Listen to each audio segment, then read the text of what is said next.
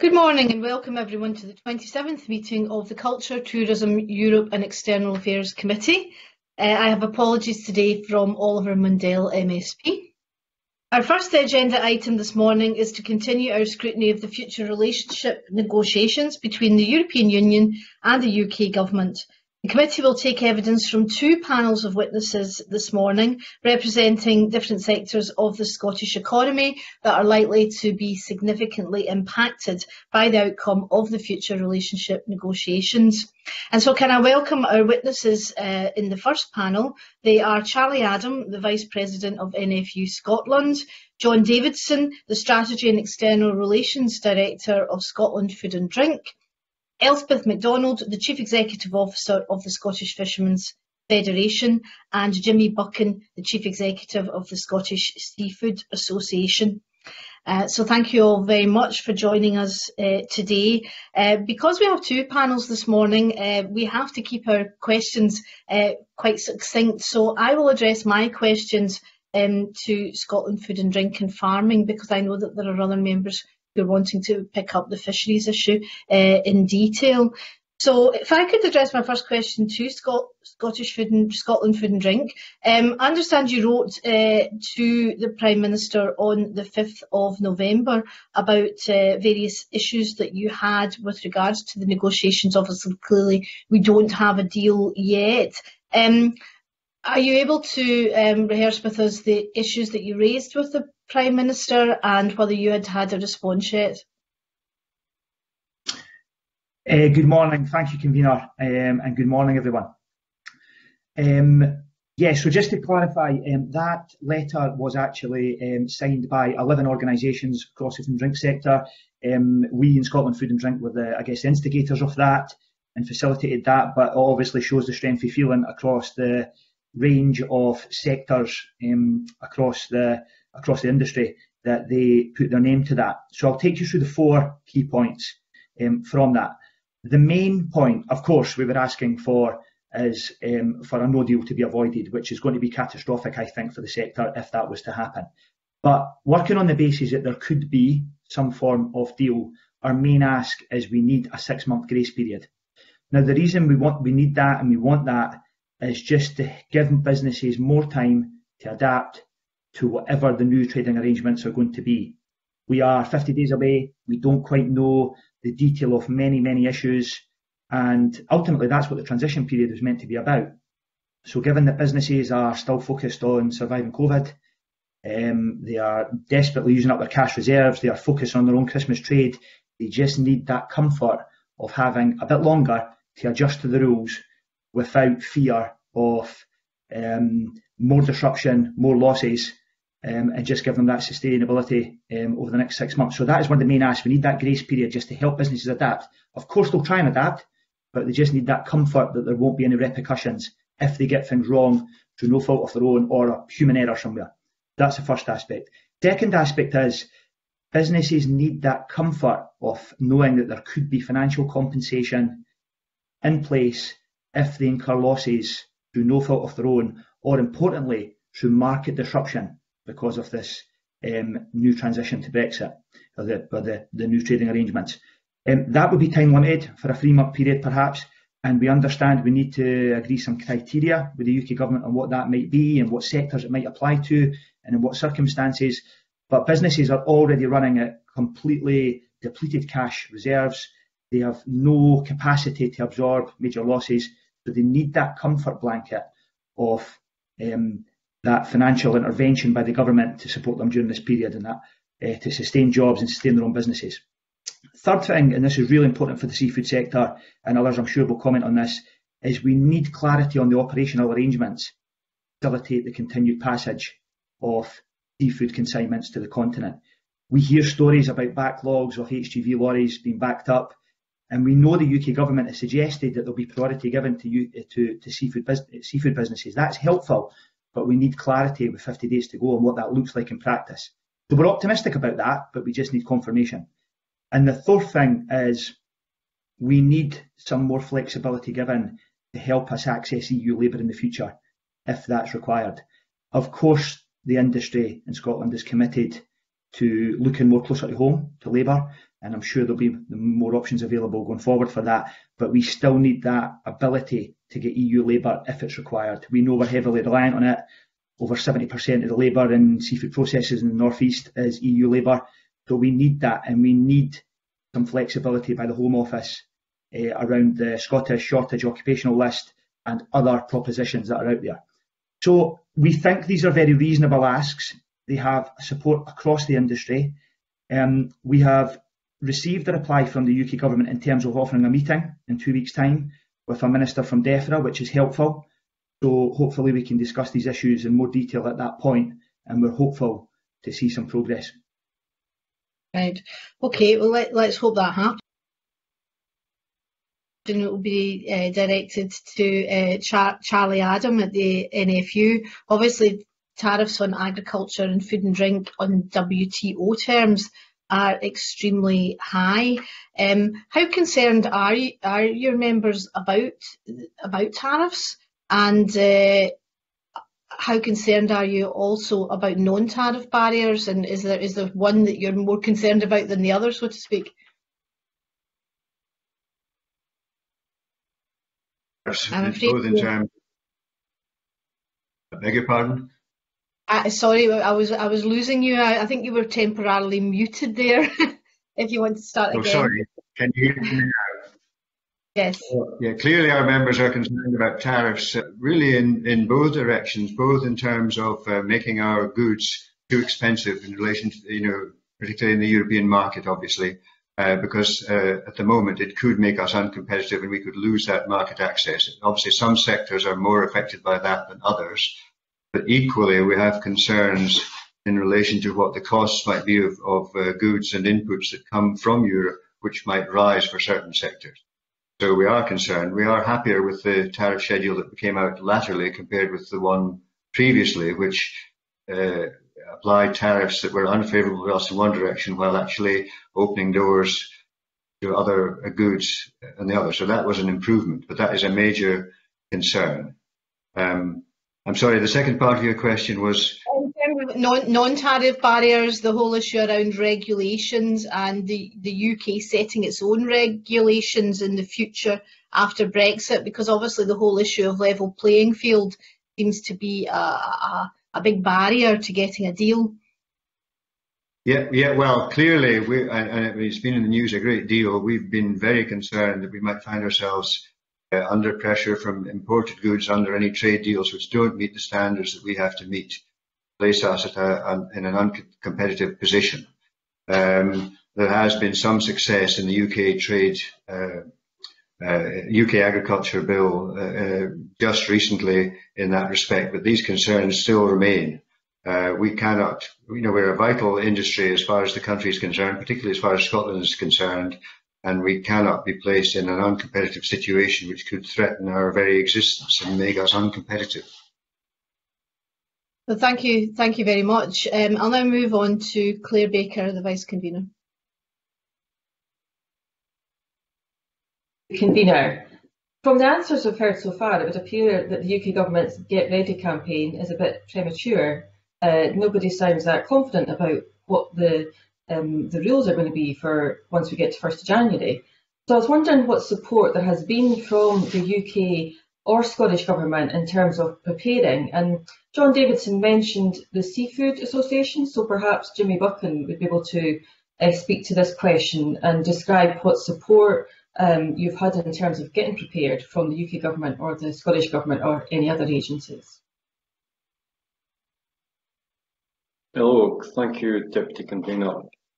Uh, well, I have to say that both governments have done a tremendous amount of work, uh, but I think the sheer scale of, of, of the project or, or, the work scope in advance of, of the significant change industry is going to have to embrace is probably bigger and wider than, than most people could, could, could vision.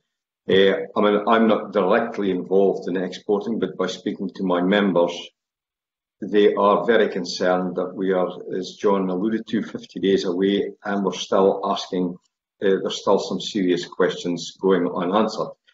It is going to be a, a significant cost to industry, all the extra paperwork. I think bigger businesses probably better prepared for it simply because they've got the, the human resources to deal with it. Smaller businesses are going to find this extremely challenging to the stage that I would fear that they may not be able to uh, trade any longer with, with the, the, new rules and regulations that, that will be imposed upon them, purely down to paperwork and cost of paperwork. So in effect, small consignments will become unviable and that market may well be lost. So I would have liked government to be looking at compensation schemes. There has been, we, we, I've consistently asked for that. Nothing has been forthcoming and therefore uh, we, we, we simply are not ready or prepared enough for 31st of December as of the information that I'm sitting with at the moment. And do, just as a today, when you mentioned the smaller businesses who might feel unable to, no, might no longer be able to trade with the EU, um, is there much work done in thinking about alternative markets? Or do you think those businesses are more likely just to collapse? Well, I'm, I'm looking, collapse would be a, a very strong word, and, and, I'm not going to say that, that that would be where it would go. But it is going to be a concern to business because if you lose your, your, your export market, then you've got to, to find your, your find more business already busy market. Uh, but I, would, just like government, either Scottish or UK, because you're, both in governance, to be sitting together and working with the industry, saying, well, exactly what is it you do need to continue to trade? Because I think for as much as political parties and governments are, trying to, to do the best that they think is what they're supposed to do, the end game surely must be to look after the, the, the business and the people within that businesses. And I, and I feel we, to a degree we, we are kind of we get lost in the noise. Instead of sitting down together and saying, right, what is it exactly you need?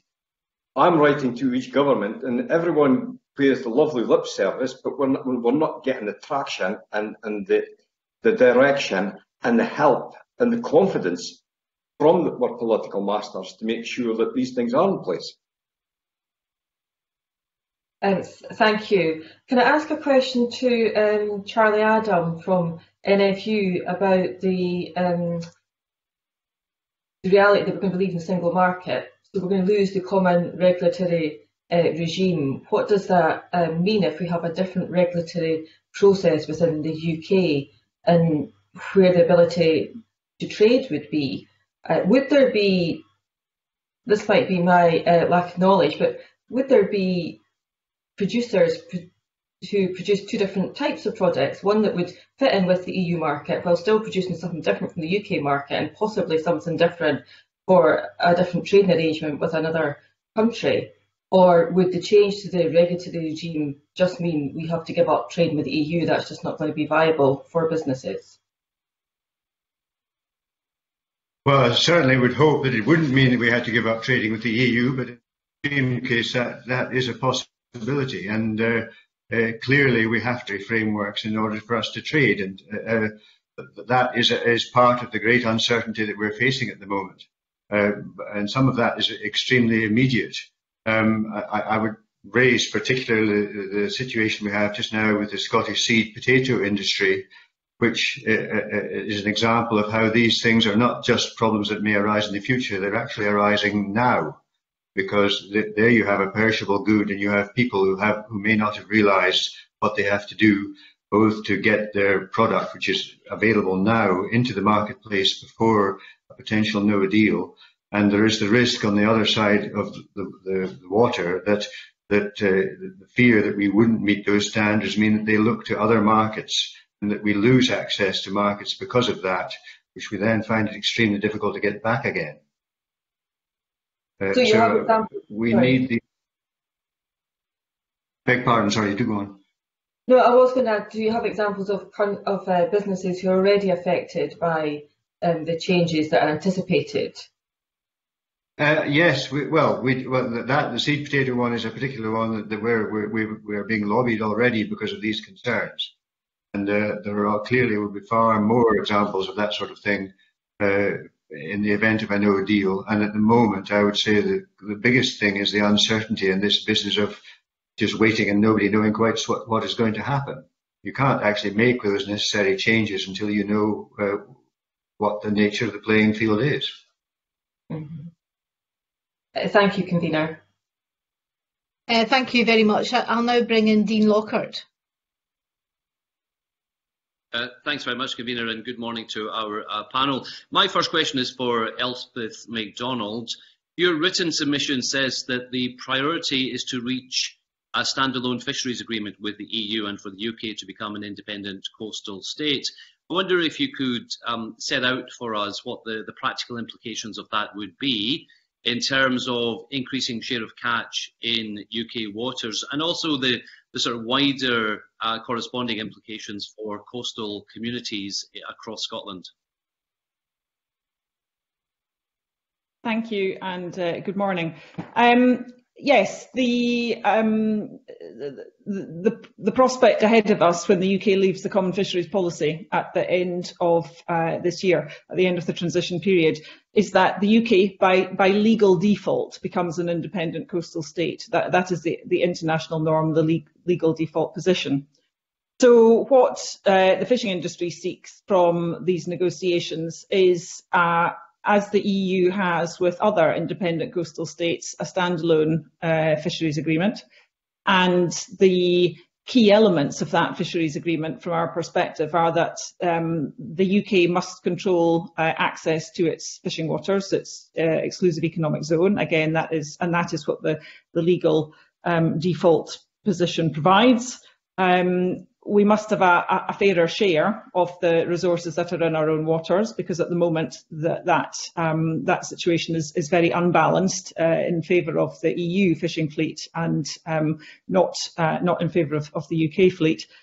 And um, that there must be annual negotiations on fisheries between the EU and the UK.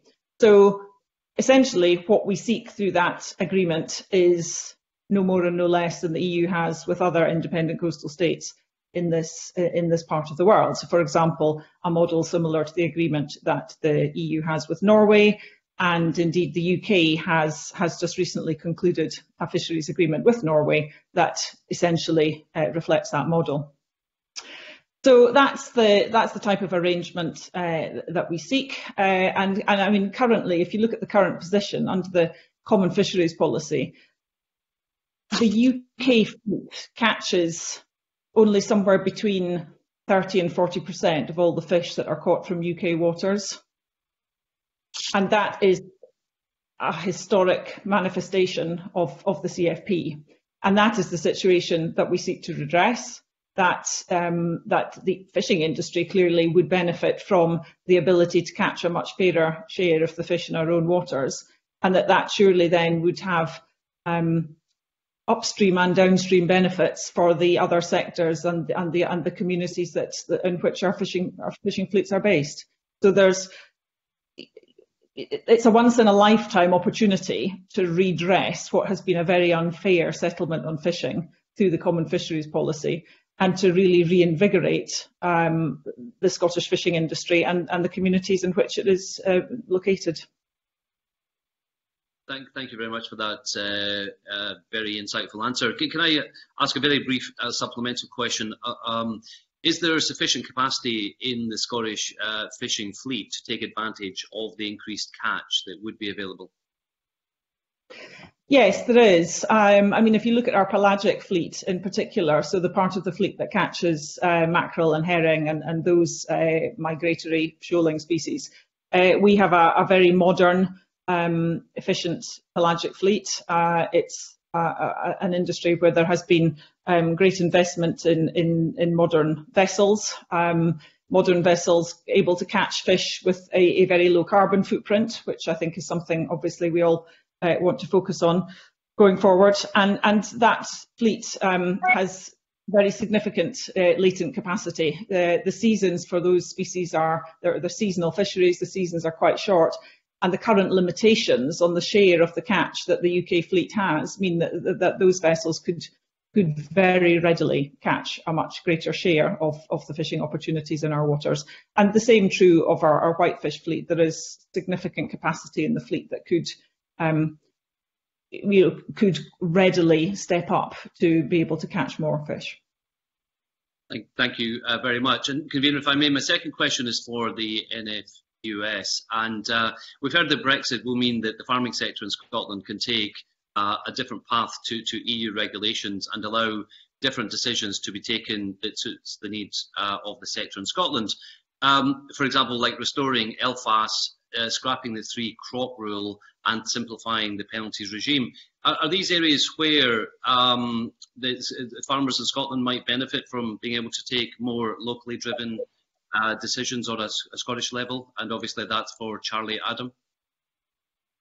Thank you. Uh, well, clearly, yes, they are. I mean, what we have we have to do is find a compromise, if you like, between a common regulatory uh, framework within the UK and sufficient uh, flexibility within that to allow us to uh, do what we need to do and set up the arrangements we need to have for our unique circumstances in, in Scotland.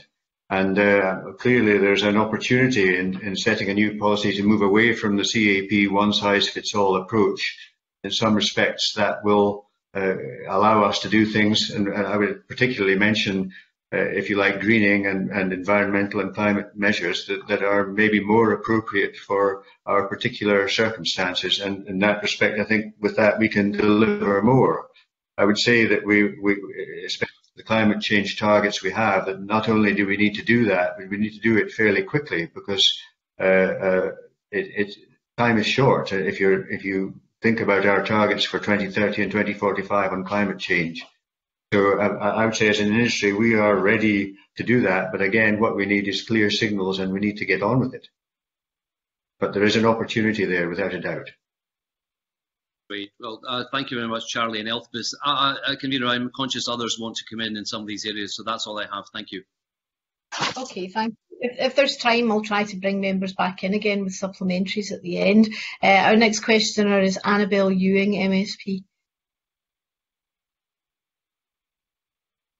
Uh, thank you, Convener, and good morning to our panel. Um, uh, I could perhaps um, direct my, my first question to John Davidson. Um, uh, uh and um, I had noted in the, uh, the copy letter sent to the PM last week on the part of um, Scottish Food and Drink, NFUS and uh, Scottish Seafood Association and many others um, that it was stated uh, that there, there was no system available that could cope with increased demand in the number of electronic uh, health certificates likely to be needed um, post 1st January 21 uh, in terms of where we currently are, I think 50, 49, 50 days out of that date. Um, and that is, I understand, irrespective of no deal, low deal, any other kind of deal. Could John um, maybe explain tangibly what, what uh, for the sector? Thank you. Thank you. Um, I, I, think I got that question. You just broke up a little bit, uh, Annabel, but I think I got what you said there about the, the export health certificates. I've got it, I think, but keep me right if not. Um, um, so, um, so the requirement to produce export health certificates um, is an enormous undertaking for the seafood sector in particular, but also other sectors. Many of our businesses, of course, excluding the salmon sector, um, only really supply the European market. So at the moment, they don't have to produce export health certificates uh, for their product going there. So it is estimated that this will go an export health certificate from zero at the moment to around 150,000. And what that means is that puts pressure on businesses. They actually produce these, these documents and pay for them and for the authorities, so they are usually facilitated by export um, environmental health officers and local authorities to respond to that significant demand.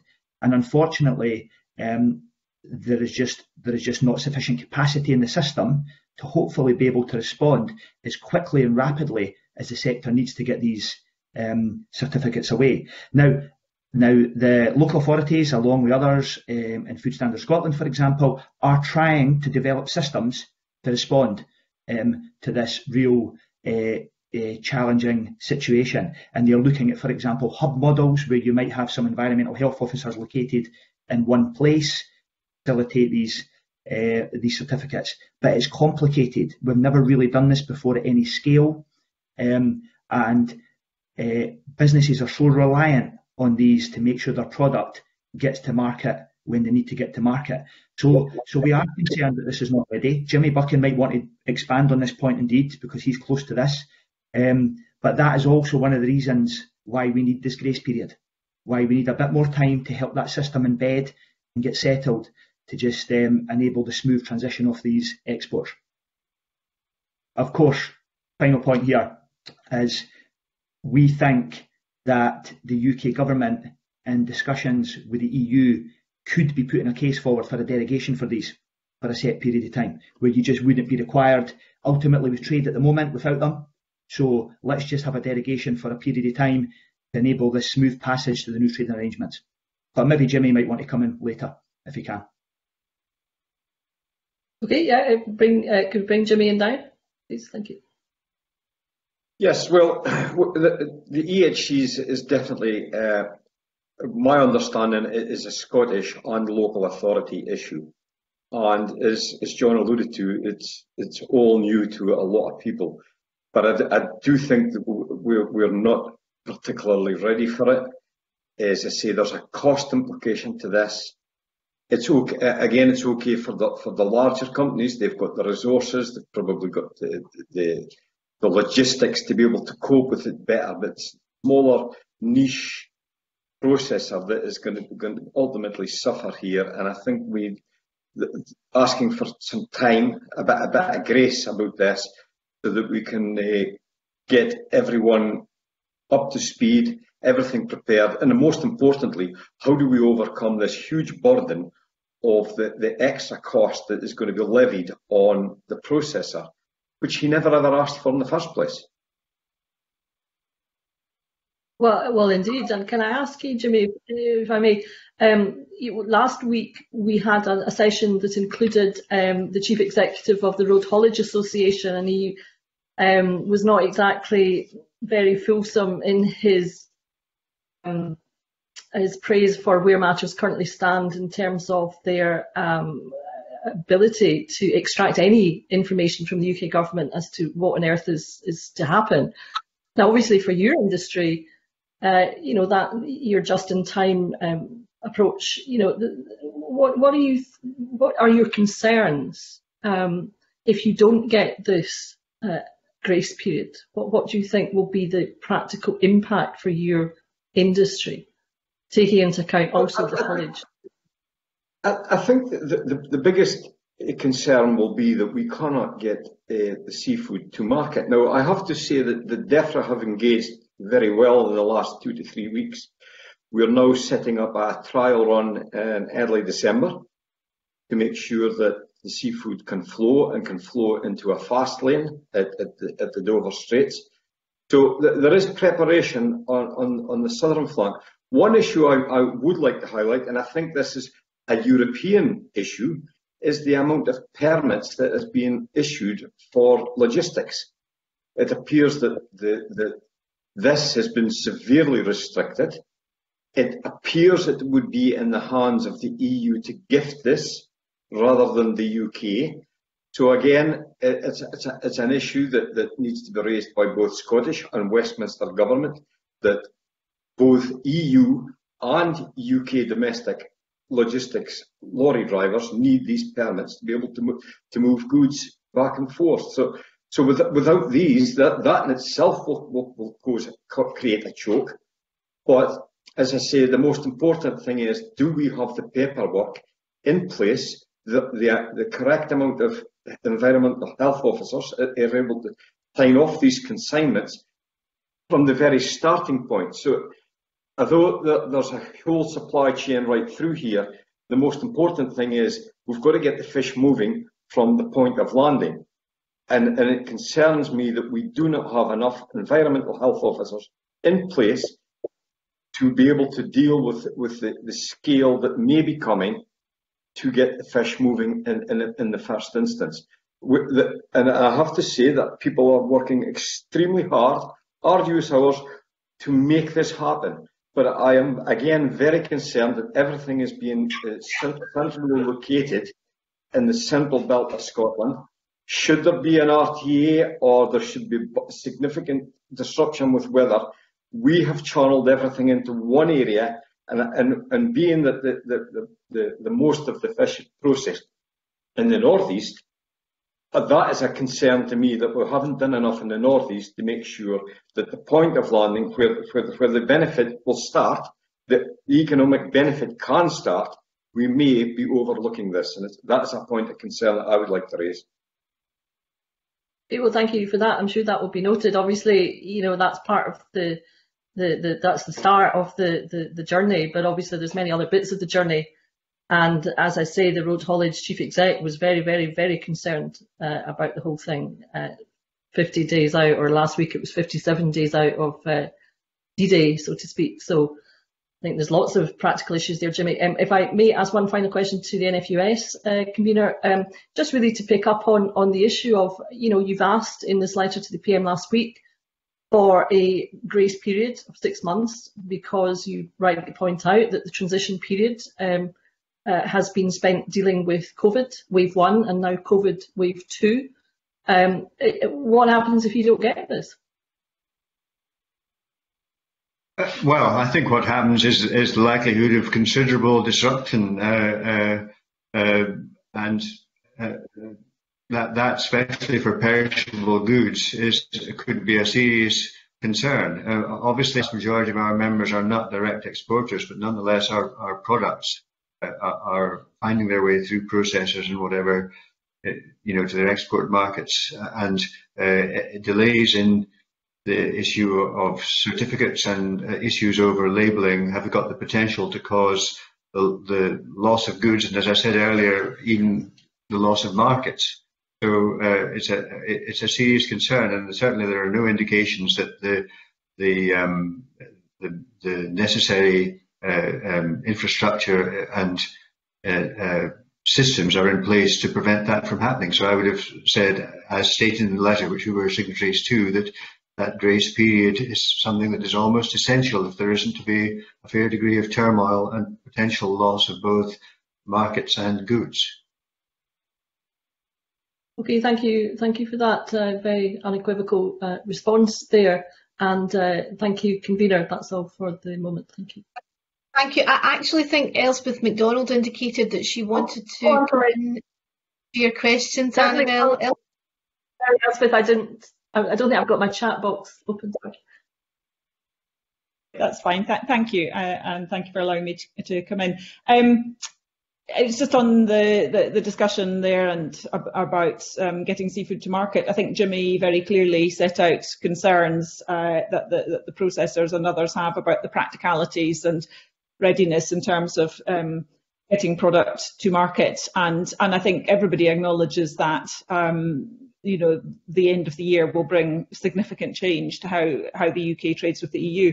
But I think it's just important that we also um, recognise and acknowledge that, you know, there are a large number of businesses uh, and a large number of jobs in the EU market that depend on this product too. And you, they will also be making efforts at their end to ensure that that product can get to them. So if we think about fish processing, for example, we know that Boulogne-sur-Mer is highly dependent on fish coming from the UK. Um, we know that in France, uh, you know, infrastructure has been put in place to make sure that seafood um, seafood lorries coming from the UK will be uh, channelled uh, directly from from Calais to to, to Boulogne. So. Um, yes, there are challenges on this side, but I think we also have to recognise that there will be efforts being made in our markets on the continent to try and make sure that that product can get there because um, those businesses want those products, customers and consumers on the continent want our products and, and there are businesses and jobs that are dependent on them. Thank you. Thank you. Thank you very much for that. Thank you. Thank you. Uh, we can now move on to Beatrice Wishart, MS. Uh, thank you, convener. Um, good morning, panel. And uh, I, my question is for Elspeth Macdonald. Um, you've uh, touched on the, um, the the current catch of between 30 and 40 percent for for um, UK fishing, and uh, and you also indicated that you know the, latent capacity in, for example, the pelagic fleet, which of course I know well from Shetland, uh, and the heavy investment that uh, the boats in Whalsay have made. So I'd like to ask Elspeth, how much, um, you know, what do you believe that UK fishermen should be allowed to catch above the 30 to 40% that's already possible? Thank you, and that's a that's a good question, and and I think there's probably I think if you look at different parts of the industry, that might look a bit different. But if we looked at it on a, a, a cross industry scale, I suppose I think there are some quite good comparators. So um, I've mentioned Norway already in terms of an independent coastal state, obviously a, a near a near neighbour of ours and an even nearer neighbour of yours. Um, and Norway, the Nor Norwegian fleet catches upwards of um, 80% of all the fish that are caught in Norwegian waters. So Norway does have a fisheries agreement with the EU. They have agreements, they have annual negotiations on access and exchanges of fishing opportunities we now also have a, an agreement with Norway, but I think Norway is, is, is quite a good comparator, whereby we are only catching around 30 to 40% of all the fish that are caught in our waters. Norway are, are, are taking, their own fleet is taking upwards of 80%. And in fact, if we move um, further afield to Iceland, that figure is even higher. The Icelandic fleet catches, I think, in excess of 90% of the fish in their waters. So there is scope for, for significant change. What that might look like within all different components of the industry might vary a little, but that's the, the sort of overall scale that you could look at. Okay, that's that's helpful. Thank you. My next question is for uh, Jimmy Buchan. Um, uh, obviously, in terms of um, fish processing and also the aquaculture industry, which is important here in Shetland, um, the access to EU labour. I wonder if you could give me an indication of, of how you think that is going to be affected. Yes, uh, thank you, Beatrice. You know, uh, labour is a serious concern again for the members of the Scottish Seafood Association. The the high level. I mean, we are we're generally not the highest salary paid industry. It's that's that's a, a, a, been an ongoing. And it's not that we're looking for cheap labour, but we we aren't able to attract enough local talent to seek careers in seafood and processing. Uh, we are about to embark on a campaign to try and promote uh, due to the COVID and people losing their jobs. So we see an opportunity to, to campaign and, and look for people to seek a new career in, in seafood. So, so that is a work in progress. But, but by and large, uh, the, we, my members are seriously concerned uh, that the lack of labour from the EU will restrict possible growth. Uh, and with the, the, the, new criteria being uh, introduced by the UK government is making it a bit more difficult for uh, the industry to be able to attract the talent that allows the business model to be able to compete in a global market. In other words, yes, they, they have raised the bar that is a minimum of £25,000 per employee, is for importing or uh, attracting what global labour, but then that puts up the, the operational cost of the factory. When the factory is trying to pr can produce food at a level that can compete in, in a global market. So it's it's how do you balance the economics? It's not that they can't pay it. They, they, if they were to pay it, then they, they would, the products would have to go up in price, and and the and the public would find that hard to buy against something that's cheaper on the, on the, on the supermarket shelf. So there's a lot of things comes into the economics uh, of, of how we get this, what was working relatively well. But as I say, we are campaigning now to find and attract youth and people to change their career uh, into seafood processing, which be very, very wide and diverse. And I have to emphasize it's not just about knife skills, it's about a whole host of skills. It could be electronics, it could be marketing, it, it could be finance. I mean, we are a, a huge industry and we need a huge pool, pool of talent. I think that's very true. There's uh, not an understanding of what actually is required within the seafood industry and the skills. Um, and I, I, suppose that my next question follows in terms of actually retention. Is there any indication that uh, EU labour that you're losing this because of what's happening on 31st of December? Is there any issues with retention? I, I think there, there was a, there was a, a number of things maybe has happened over the last year where, where uh, probably the unknown. So pe people people like to have security, and and we have been kind of bounding along now for a number of years with uncertainty. And and of course, if young if people have families just like ourselves, they want to have the security that there is going to be a wage and job security and be able to pay for pay, pay for, for, for, for a normal life. So the, the other e economic e other countries in the EU are also beginning to to to come up, and I suppose people are looking to re relocate at home.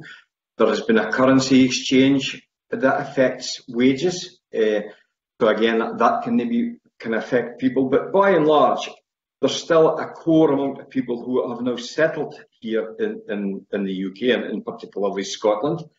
And, and we can we are grateful of, of, of them and we want them to continue. Uh, but we also, I think as John alluded to right at the beginning of this session, that we should still not close the doors. We should find ways of being able to use the talent that's there and attract people to come here to to seek work and careers if we cannot get that, that from the local communities. And that's where we're finding the problem at the moment. Now, post-COVID, we might be in a whole different world again. And that's why we're, we're embarking on this new campaign to try and promote careers and, and work within the seafood sector.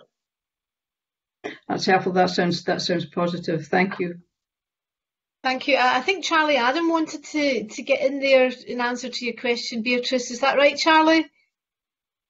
Uh, yes, thank you. Uh, uh, really, uh, you may, perhaps, uh, convener, you want to discuss it later, but on the subject of labour, I can't let that subject pass without raising the concerns that we have within the, the, the farming sector over the, the labour, both seasonal and permanent, which is obviously a huge concern our soft fruit industry, but also across a number of other sectors, dairy being one, and in the, the um, abattoirs and the food processing industry um, we're very concerned that the, the agricultural uh, and, and, related um, labour is not taken into account in the points-based system of the UK government.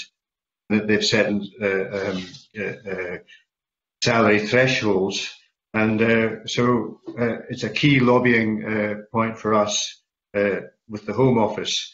We need a seasonal worker scheme separate from the points-based system and despite all our efforts, uh, we, have done surveys of our members and found that, that in terms of both willingness to apply for jobs, especially as seasonal labour, and the capacity to work at a, an appropriate level, that the UK workforce simply is not there to provide the necessary labour.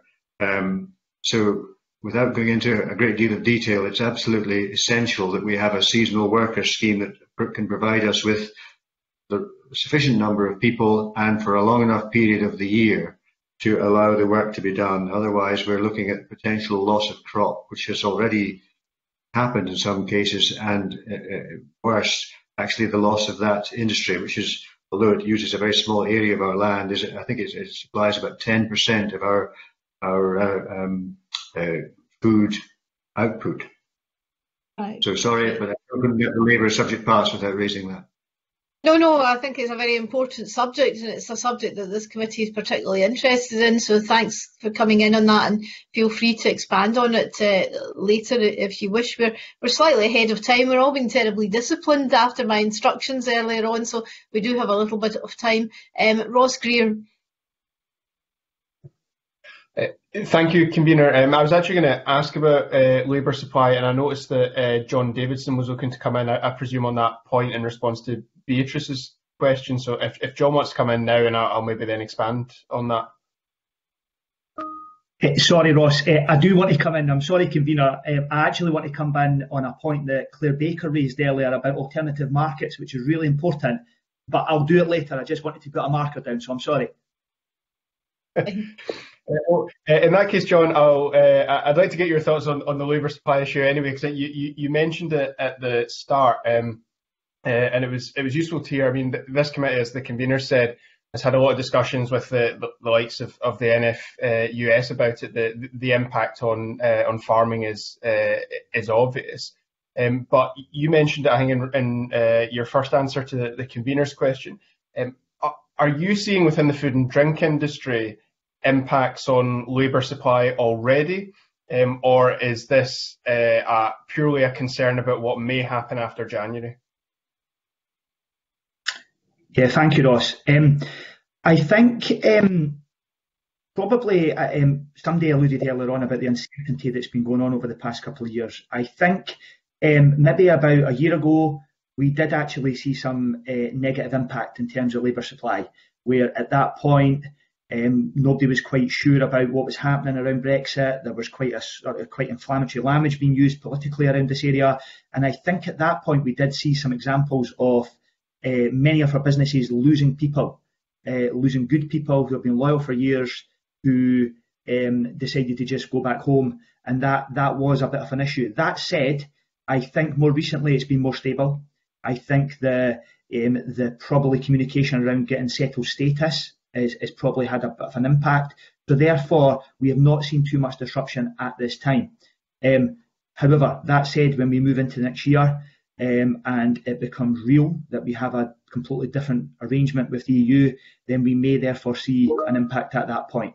But I think it's stabilised. Um, um, but we have to remain, um, I guess, vigilant to what happens going forward.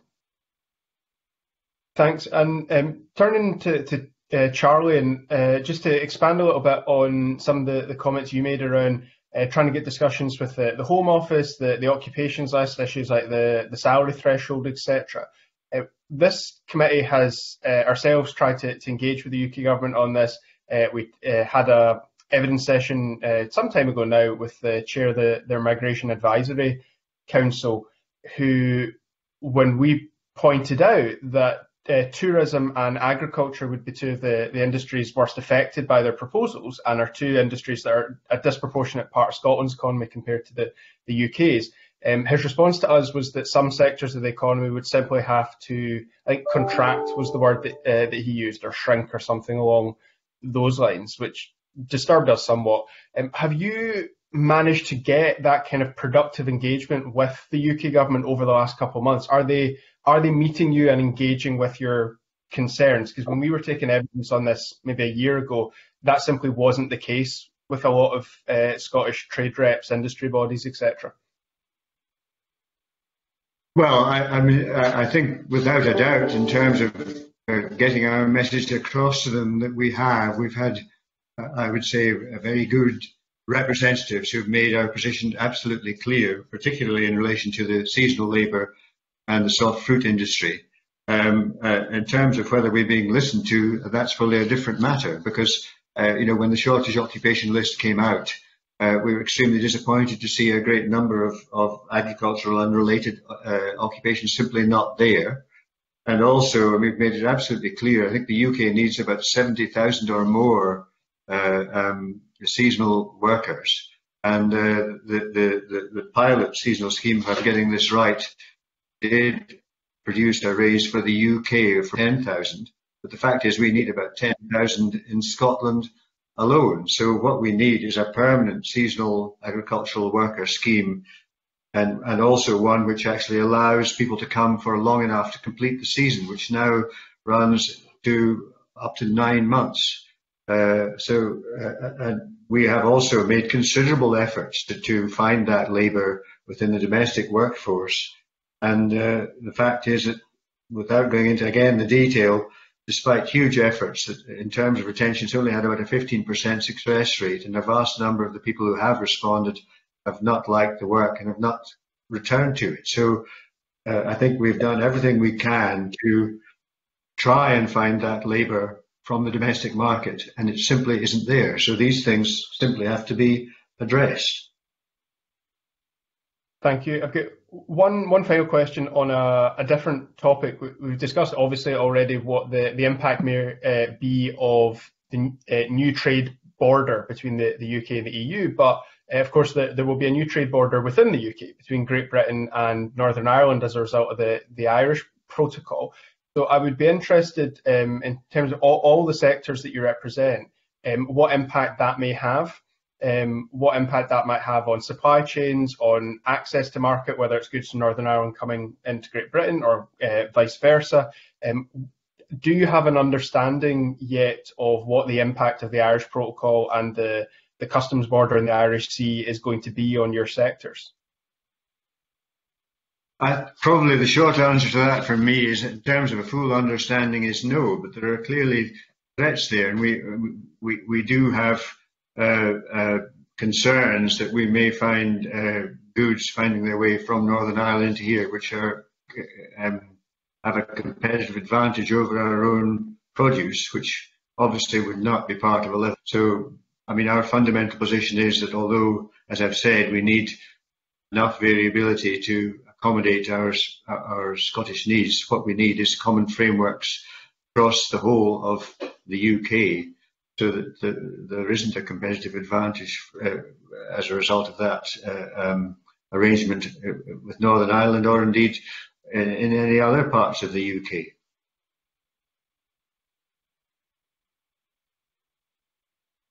Uh, thanks very I'm much. Sure that... Is is that you finished your questions, Ross, or did you want to come back? I, I think Elspeth was looking to, to come in on that one as well. Yeah. Thank you. Yes, I, I, I, was just going to add to uh, what Charlie said there about the arrangements for Northern Ireland. I, I, I, think we understand them insofar as, as they've been set out by government um, in terms of the practical changes that will take effect. So, for example, there will be different rules uh, in play for vessels, uh, vessels, fishing vessels from GB Northern Irish ports, for example, and um, and similarly in terms of, of movement of seafood products. So so I think we have an understanding of the um, what the changes look like. I, am not sure yet that we've got perhaps a full understanding of, of the practical of the practical consequences of that, but but there has been some um, some detail set out. Thank you.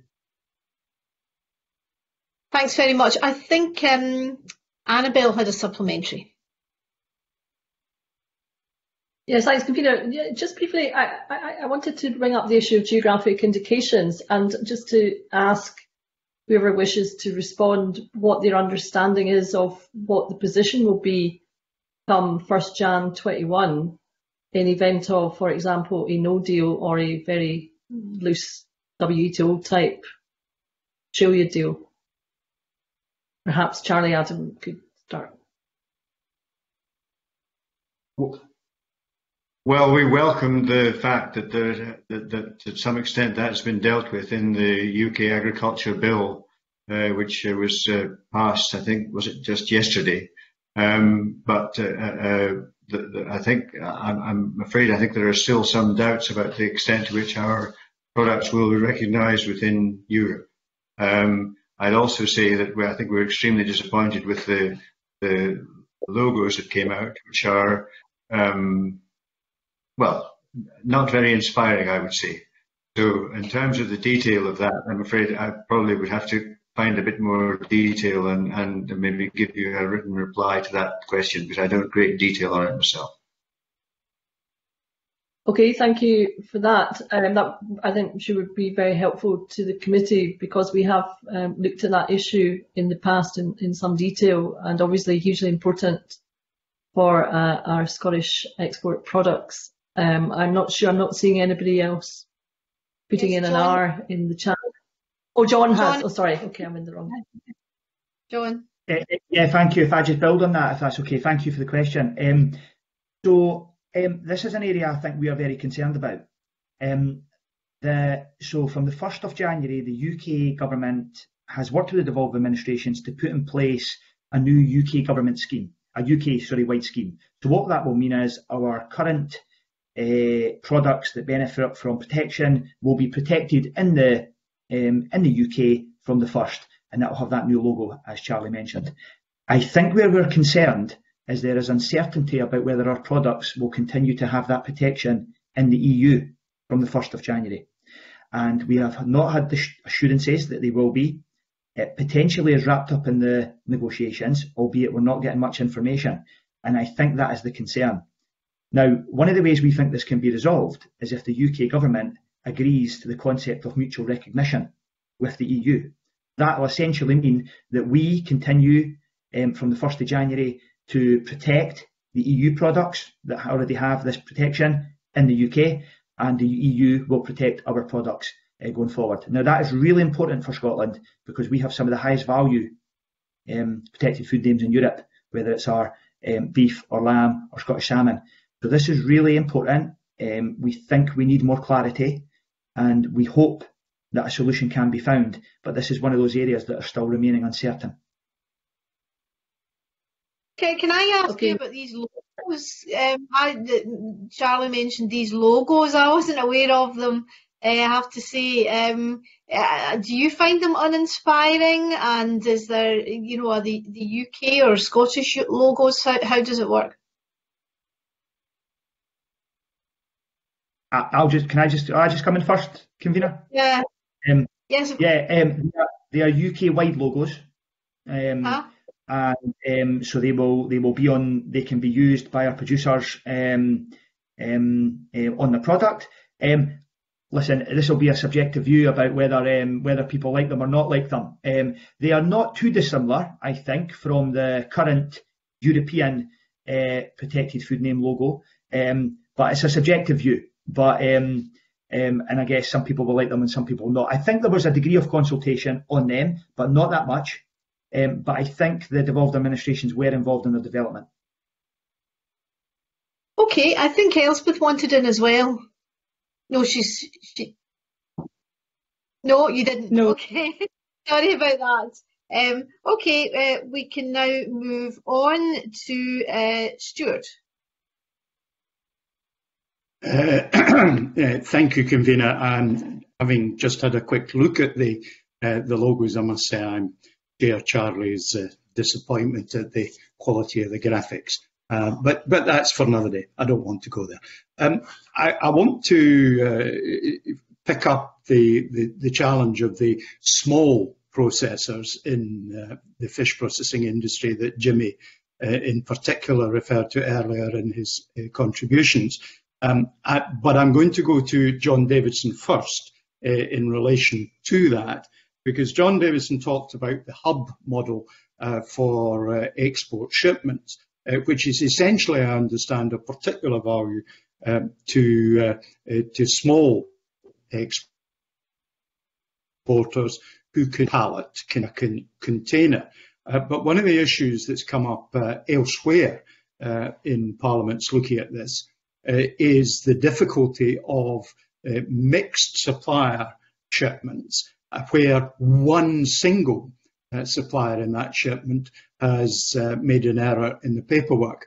And I wonder if uh, John Davidson uh, and, and, then perhaps Jimmy is satisfied that we've made some further progress uh, on that issue. And related to that previously, uh, we, we, we, had an issue of not knowing what should be on the label uh, or, or, on the outside of uh, shipments to the EU, whether it should be GB uh, or UK. I understand earlier in the, progression here there, there, was some ambiguity, and I haven't yet heard if that's fixed, but that's a comparatively minor point. It's the, the multi-supplier shipments via hubs in particular that is an issue. Perhaps John first.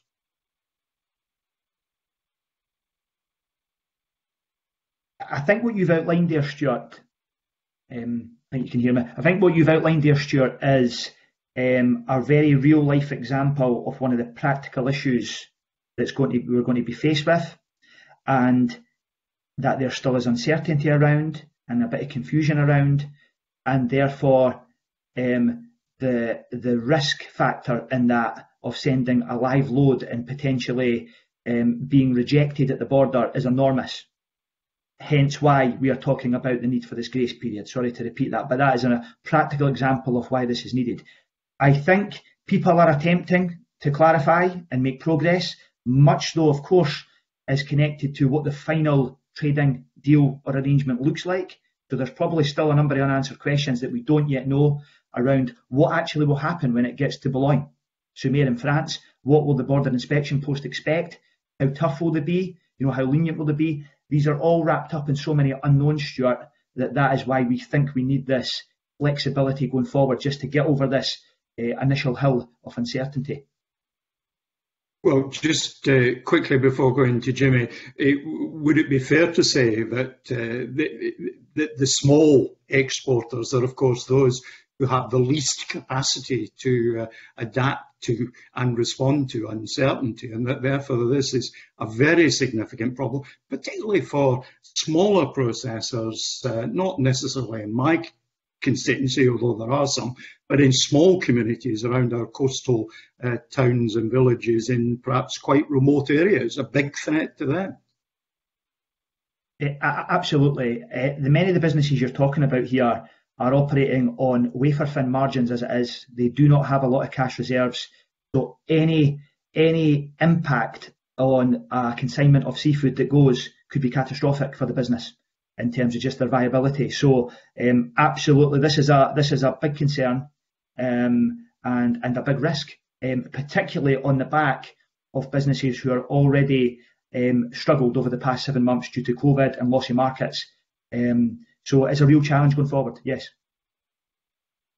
Uh, okay, Jimmy, I, I, I, want to come and get uh, you, you, your view on that uh, as well. And if there's an update on the, the, what should be a relatively trivial matter of the label, uh, I'd also be happy to get that on the record. Yes, uh, good morning, Stewart. I, I can only uh, mirror what, what John has highlighted, and especially in, in, in the rural and more part, rural and remote parts of Scotland where employment is not high and, and we need all these small businesses to be, contribute to the local economy. So a huge concern there. On, on the labelling, I'm. Uh, it's funny you should raise that because I had one of my members specifically wrote to me this week asking me for clarification, and I'm following up on that. I thought I thought it, it was resolved, but now that you've highlighted it and, and a member of mine has highlighted, then I, I will seek to clarify that, and I'll clear that up with you at, at, at a later date. But I, I can only re reflect that we are, for the smaller processors, I what I what I'm, I'm, i can see is the bigger processors are in a better position, probably because of of resources and and skill set within there. What we don't want is a is a situation where the, the bigger processors just get bigger and and they, they swallow up and and and take over the smaller because we need we need a mix of everything uh, across the, the supply chain. So that that is a, major concern, and, and I think it's something where we should be focusing in. How can we help the smaller guys? Is there is there some sort of government portal that that can simplify and, and help and assist and, and take the, the sting out of this where they can come along and, and someone can do many businesses because these business, the people that are in the business, they don't have the time to run the business. And this new burden and a new, whole new level of red tape, and it is red tape, because what, what I know about small businesses, they're very good at running small business, but the, the paperwork and the, the, and the, the cumbersome paper trail that's required for that, that's not the thing. Their skill is their passion for the industry they live in. So it's, uh, I'm glad you've raised that point. Uh, right. My, my, my second point, and by the way, small businesses are often where some of the very significant innovations come. I know from having visited a number uh, uh, over the last year, less uh, since COVID. Uh, but I just wanted to also ask uh, another issue, which is probably of importance to small processors because of the current constraints, and that is the replacement for the European Marine and Fisheries Fund um, which is you know particularly used to smaller processors. Um, big processors exhibited quite a lot of angst about being excluded from it, but but of course it goes way beyond processors. So I just wonder if uh, anyone around the table, and this would probably include Elspeth, has got any uh, update on what, what what's actually happening here, because I think the, the, there seems to be radio silence on this very important subject. Uh, starting with Jimmy and perhaps then going to Elspeth. Yeah, well, well again, I'm, I'm, glad you've raised this particular point, uh, Stewart. I have written to both Scottish Government and, and UK Government on this. We have produced a paper on this. We've asked to engage with government. We have ideas. We are, we are energised to move this forward. And we know that we've had a lot of other really important matters dealing with COVID and all the rest of it, but it, it does seem to have lost its lost its way on, on, on many in, in in governments. And it's something that I very much want to get back and get people around the table because the only way we can resolve these things is not by, by putting at the bottom of the pile, but it's by, by getting them on the table and getting the correct people around the table because business is going to need it we, we do we do hear quite a lot about the sea of opportunity, but the sea of opportunity should not um, and must not be about the fishermen. It must be about the whole seafood supply chain. It's about communities. It's about a country. It's it's everyone should benefit from any any economic benefit that's coming. It should not be for one sector. It should be for many. But we need the capital investment to go in to allow the businesses to be enthused, to be innovative, to let's use all the, the, the, blue sky thinking we've got to drive the whole industry forward. So it's something you'll see my passion is over, overwhelming on this. And, and I encourage you, along with myself, to let's kick start this off and, and get the debate going again.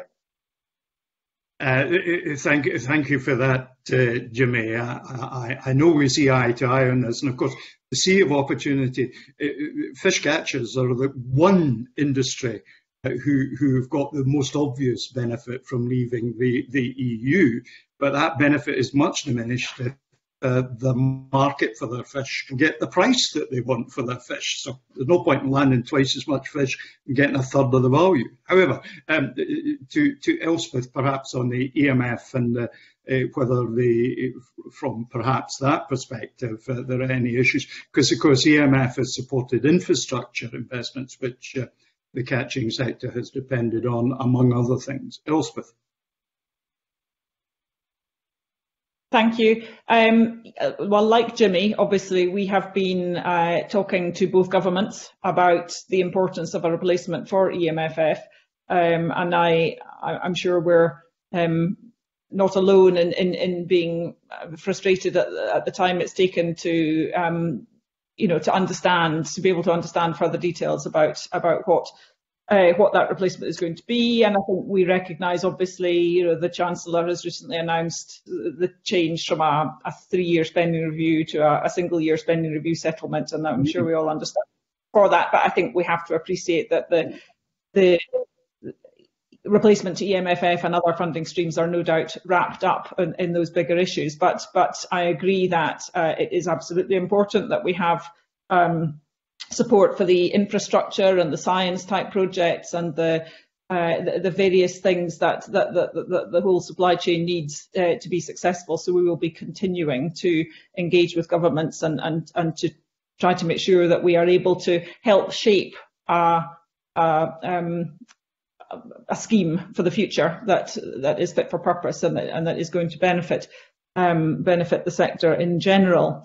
Um, I, I also wanted just to come back to um, a point you had specifically raised about labelling, and just to maybe provide a wee bit of clarification. Um, I know there had been uh, confusion in relation to uh, what uh, identity marking would be uh, required on labelling of products of animal origin, so health marks and ID marks. And just to just for information, uh, Food Standards Scotland published its guidance on this uh, just this week. I think it just appeared yesterday or the day before. So there is now uh, some guidance out there for businesses on that element of labelling, but I appreciate there are other aspects of labelling too where changes would be necessary to reflect the, the, new trading arrangements. But, but that part, um, there is some guidance out there for businesses now to use. Uh, thank you, that's very helpful. Convener, I'm finished. Uh, thank you very much, Stewart Stevenson. And we can now move on to questions from Kenneth Gibson, MSP. And I think we have a little time in hand after Kenneth for any supplementaries if members wish to indicate in the chat box. Uh, Kenneth Gibson. Thank you very much, uh, Convener, good morning, panel. And I think uh, my first question would be to Mr Adam. And uh, about 18 months ago, the NFUS uh, conducted a survey on Brexit where 64% said no deal would be negative or very negative, and only 11% positive. And I'm just wondering uh, how the view of uh, NFUS members have changed. Uh, and specifically um, in that survey at the time, it's more than half of members said they were putting they were um, the key issues were increased cost of inputs. More than half were putting off new investments. Uh, more than a third were putting off expansion of the business. About 12% had difficulty in recruiting or retaining staff. So I'm just wondering how the situation has moved uh, and if there's been progress since then. Uh, there's more confidence, less confidence, uh, or, or, generally what the views of your members are now as we uh, approach the end of the transition phase. Well, to the best of my, thank you for the question. For the best of my knowledge, uh, I don't think there's been a further specific survey, and I think uh, probably uh, given the lack of uncertainty and the, the slowness of, of, detail actually developing, I very much doubt if there's been a great deal of change in that approach. Uh, uh it's also tied up with uncertainty over uh, future domestic policy, and I mean we're very anxious that, that the, the, the, the detail of that should should be progressed so that we actually know uh, what position we're going to be in, particularly in terms of support as well as the trade and labour question. And these are things that, that, remain largely unresolved, frankly, although, although we are pushing very hard in, in terms of offering ideas ourselves as to where we want to go in terms of domestic policy. But I don't think there has been a great deal of change. I think the vast majority of people are no more certain now or have got no more uh, uh, done little more in terms of putting uh, in the interim period than, than they had done at the time of that survey. But that is to the best okay. of my knowledge. Thank you, Mr. Adam. And just as a follow-up to that, um, you, you also mentioned in your submission concerns about the default being the EU's full common external tariff, and you go on to say that this will place considerable strain on the viability of certain sectors heavily geared towards the EU market or relying on that market for carcass balance. I'm just wondering if you can perhaps uh, tell us which particular sectors you believe um, are, most threatened by the current situation. Well, uh, the one that immediately comes to mind is the sheep sector, especially when you mention carcass balance, because currently we export, I think, uh, towards 100,000 tonnes of sheep meat most of it goes to the EU and particularly France. And uh, although we also import sheep meat, less so uh, a lot of it from New Zealand, the, the, the Asian market and the effect of, of um, uh, uh on the pig herds in China has slightly meant that, that, that the, the, less New Zealand sheep meat's been coming in at the moment. But that said, that is a carcass balance issue and also a seasonal issue because uh, uh, generally speaking, whole carcasses are going to Europe and we are importing specific cuts mm-hmm. at specific times, namely legs and whatever. So that remains a concern. That said, the sheep market has obviously been very strong just recently, but that could change very quickly. We don't know whether once a, a, a European buyer is faced with a tariff in the order of at least 50%, whether or not they will still be willing to pay that, or and, and whether or not that uh, extra cost will actually be absorbed somewhere else or will find its way back to the price paid to the farmer. So that sector in particular is is affected. There there there are also uh, um, concerns uh, in relation to the the poultry sector. Who I actually spoke to yesterday over the potential cost of feed inputs, which again might face a, a, a tariff. So that is a concern too. Okay, thank you for that. I mean, I realise how, how awful it is, the uncertainty at this time. And just uh, finally to yourself, Mr uh, Adam, um, you also say in your submission that uh, NFUS Scotland has consistently advocated for legislative protections to be put into the UK Agriculture Bill and the UK Trade Bill. Um, I'm just wondering, have these protections been put in to your satisfaction, um, or do you have further concerns on that particular matter? Well, I'm not sure if the answer would be to our satisfaction, but we actually, I think we, we the, the, the of uh, MP on the amendments to the agriculture bill probably resulted in the government putting in their alternative amendment, which was passed yesterday, and at least gave uh, uh, a degree of parliamentary scrutiny uh, over what is done in trade deals. So that, to our extent, is, is a win for us and a vast improvement. But again, uh, uh, these things may be advisory rather than firmly in legislation in relation to what standards may or may not be accepted in a trade bill. So we've got some satisfaction from that, but we still have concerns. Okay, thank you for that. And just if I can move on to uh, Mr. Davidson. Mr. Davidson, in your letter to the Prime Minister, which um, you know, uh, Scottish uh, Scotland Food and Drink was a, a signatory. Um, you, the, the, letter uh, to Prime Minister talked about the fact that um, you know uh, you wrote to cabinet uh, colleague George Eustice, Secretary of State at DEFRA, seven weeks ago, uh, and yet have not you've not received a substantive reply to that letter, which is obvious con- of obvious concern. And you go on to say that um, the signatories to this letter are looking for a package of financial compensation for producers, processors, manufacturers and distributors who encounter losses as a direct result of border or market disruption initially for a three-month period, but to be renewed thereafter. Um, clearly, you know, um, you haven't had a substantive response, but what kind of package of compensation are you looking for uh, in terms of um, you know, the amount of money we're talking about? How much do you need, do you believe? Or are there parameters, do you think, depending on how Brexit turns out from the 1st of January? I realise it's a movable feast, but what, what kind of level of support uh, do you need for this three month period and going further forward if you're to avoid um, unemployment and perhaps business failures? Uh, yeah, no, thank you for the question, um, uh, Mr Gibson. Um, you know, at this point, we have not done any, um, you know, detailed modelling, for example, of how much a package of support would be required to support the sector. Um, but I think it's more about at this stage we're looking for a signal. We're looking for a signal from the UK government of commitment, of an understanding of some of the pressures that will be faced by um, our various sectors um, across the industry, and and as I say, a, a signal that they are willing to work with us to develop some criteria, to develop the principle of support where it's needed.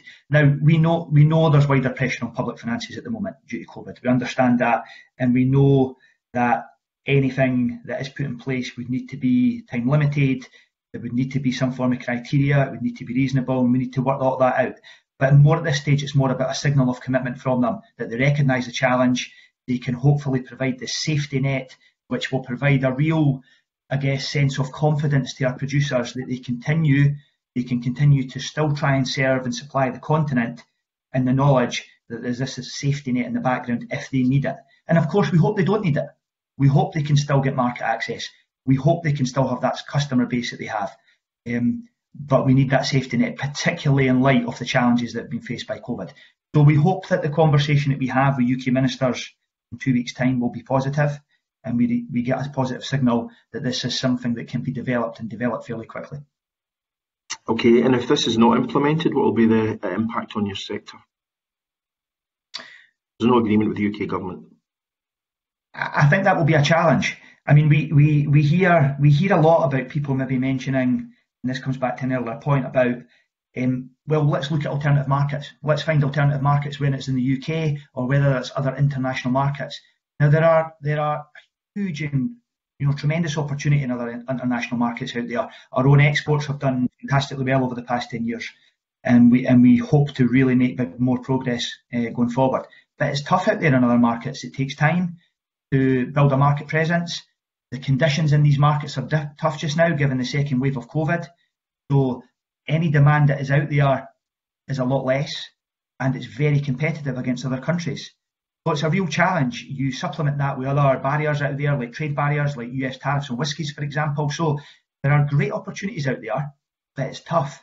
It's very tough to get that market presence and recoup any losses that we're losing from the EU market. Bearing in mind that 70% of our food exports go to the EU. So I think if we don't have the safety net, Um, and if our market is really disrupted in Europe, that will that will present a significant challenge for many many businesses across the sector, probably particularly small businesses. Okay, thanks very much for that. I, I, that's really helpful. And just um, um, um, if I can, convener, um, move on to Elspeth Macdonald. Um, I think everyone uh, would be. I, know I certainly am sympathetic to the fact that uh, uh, you know if Iceland gets ninety percent plus of its uh, of the of the fish uh, from its waters, uh, sorry, it's getting over its share of fish for its waters over 90%, Norway 80%, then if Scotland's only 30 or 40%, then people obviously would feel that Scotland is not getting its fair share. But if Scotland is to increase that share, um, obviously the European Union will want uh, a quid quo pro. Has there been any indication as to what um, the UK government is willing to concede to the European Union in order to get a better deal for Scotland's uh, fishermen and indeed its processing industries?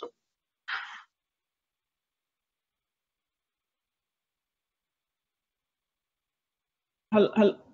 Hi, uh, thank you. Um, yes, I think it's it's evident that the that the European Union a artificial link that they have between uh, fishing opportunities and, and, access to market um, clearly you know is, is, significantly concerned about loss of access to the to EU waters and and, and that is the leverage uh, clearly that, that, that they wish to apply um, I mean, it is it is unprecedented to have fisheries agreement that are linked to, um, to, to trade agreements. There are there are no others that that work like that. The international norm of fisheries agreement is that they are standalone agreements about access to each other's parties' waters and fishing opportunities, and that is that is very much what we seek. The um, there is no precedent, as I say, for a link to trade, and and and that is something we think must uh, must strongly be resisted. I think it's it, it's important. I think also too to think about the balance in trade and seafood.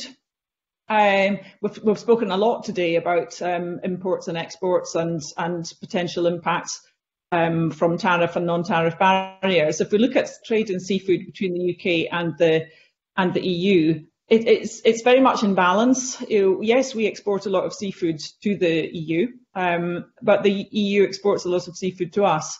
Um, somewhere in the region of, uh, of, of, a billion pounds trade uh, in each direction annually. So th there's a, there's a fairly good balance of trade on seafood between the parties, but there is absolutely not a balance in, in, in our fisheries arrangements. That is extremely out of balance. And it should not be the case that we have to sacrifice something that is um, manifestly currently, uh, uh, you know, we should not be having to sacrifice something that, that the UK should be able to have greater advantage from in terms of natural resources in our own waters for something that is in the interest of both parties. So I think we would very strongly continue to refute uh, that artificial link that the EU has created between fishing, uh, a fishing agreement and a trade agreement. There is no other precedent for it, and, uh, and, and these they must be kept separate.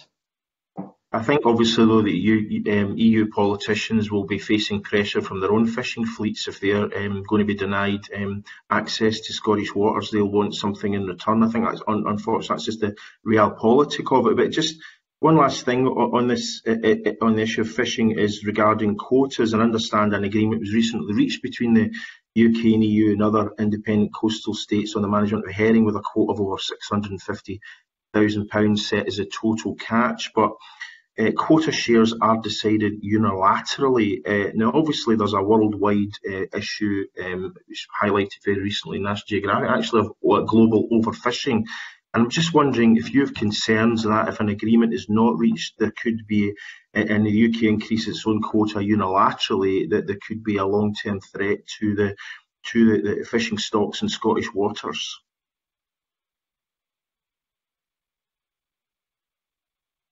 The situation that you refer to refers to negotiations at something called coastal states, which is where coastal states that have um, interests in particular uh, pelagic stocks uh, gather on an annual basis to discuss total allowable catches. Um, the UK is now an is now um, a coastal state in its own right. So until this year, the UK has taken its seat at that table. Um, it hasn't taken its seat at the table. It has simply the EU has has sat at the table, and, and the UK has sat in the background as part of the, of the EU delegation. We now have an independent seat at that table, and we will absolutely be using our hopefully much greater influence now in that forum to um, to influence against unilateral TAC setting and, and, and overfishing. Uh, we absolutely do not support the actions of, of some of the coastal states that, that, that, do set unilateral TACs that, that mean these stocks are overfished and, and we absolutely want that to stop. So we're using our now direct influence in these forums to try to achieve that. Thank you very much for that, and thanks to panellists. Uh, um, uh, so, sorry, I didn't have a question for yourself, Mr. Buchan, but I think I probably um, over um, overwent my time on there. So thanks very much, Kevin. Thank you, panel. You have actually, Mr. Gibson. In fact, I had indicated to other members that we would be able to uh, take some supplementaries at the end, but we now have completely run out of time. So I apologise uh, to members because uh, we don't want to keep our second panel waiting. Uh, I'd like to thank our first panel, uh, both for coming along and for their very useful written submissions. And we shall now have a brief, brief suspension before we move to our second panel. Thank you very much.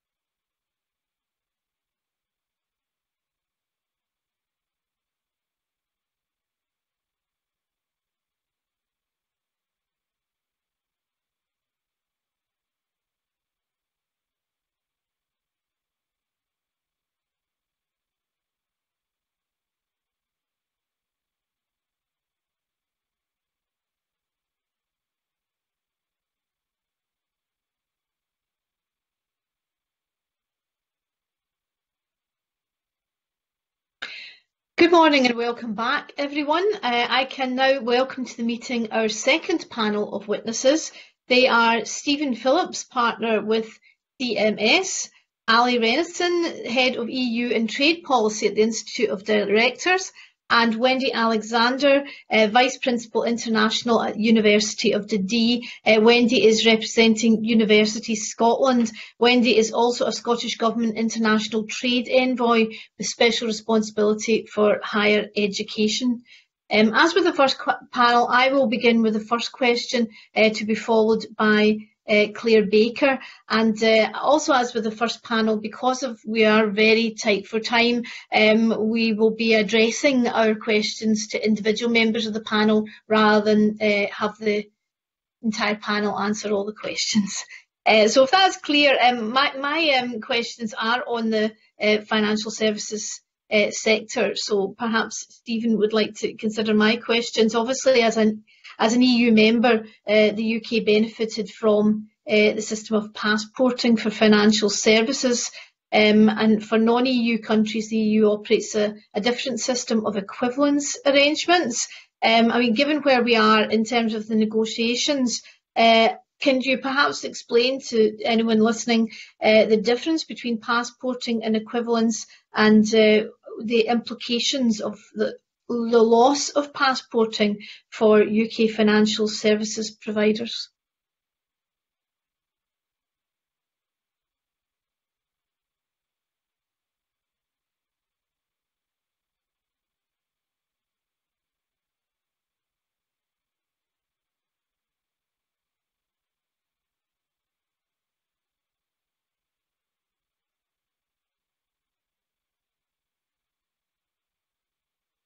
And I should have said, I think you're muted, but I mean, that, that, that question is as much to Allie Renison um, in terms of uh, her, her role with the Institute of Directors.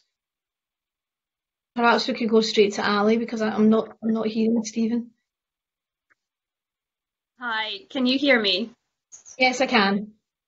Okay, um, apologies. I'm uh, I'm just over the border with Dundee in Perthshire, and the rural broadband is being a pain, so I've just had to pop over to a neighbour's outside to use their Wi-Fi. So apologies if it's a bit slow. Um, I think your question was in particular about the impact of losing passporting as relates to equivalence. Is that correct? Yeah, that's right. Yeah. Um, so I think if I can step back and take it in a, in a broader turn, um, in terms of the main the main difference as I see it, and I think that um, Stephen might want to expand on that, is that I think the reliability of what um, the difference is, the reliability and the predictability to to our end is one of the main differences in terms of what financial services uh, firms can rely on.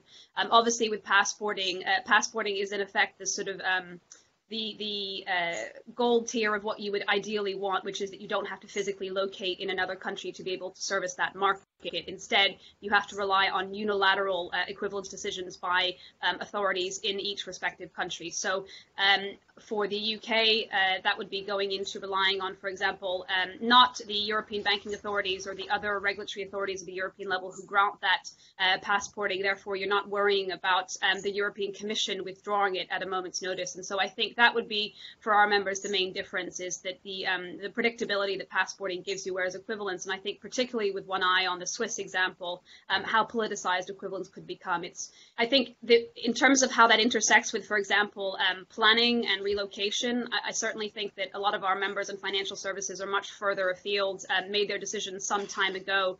And so in this respect, for a lot of the, um, uh, not just the larger members, you would have a situation where, in effect, when you're relying on equivalence, sorry, the mailman's just come through. When you're relying on equivalence, um, you're not going to rely on that for market access. Uh, whereas, obviously, um, and, and, that means that effectively a lot of businesses have already made that relocation or expansion, depending on how you look at a decision.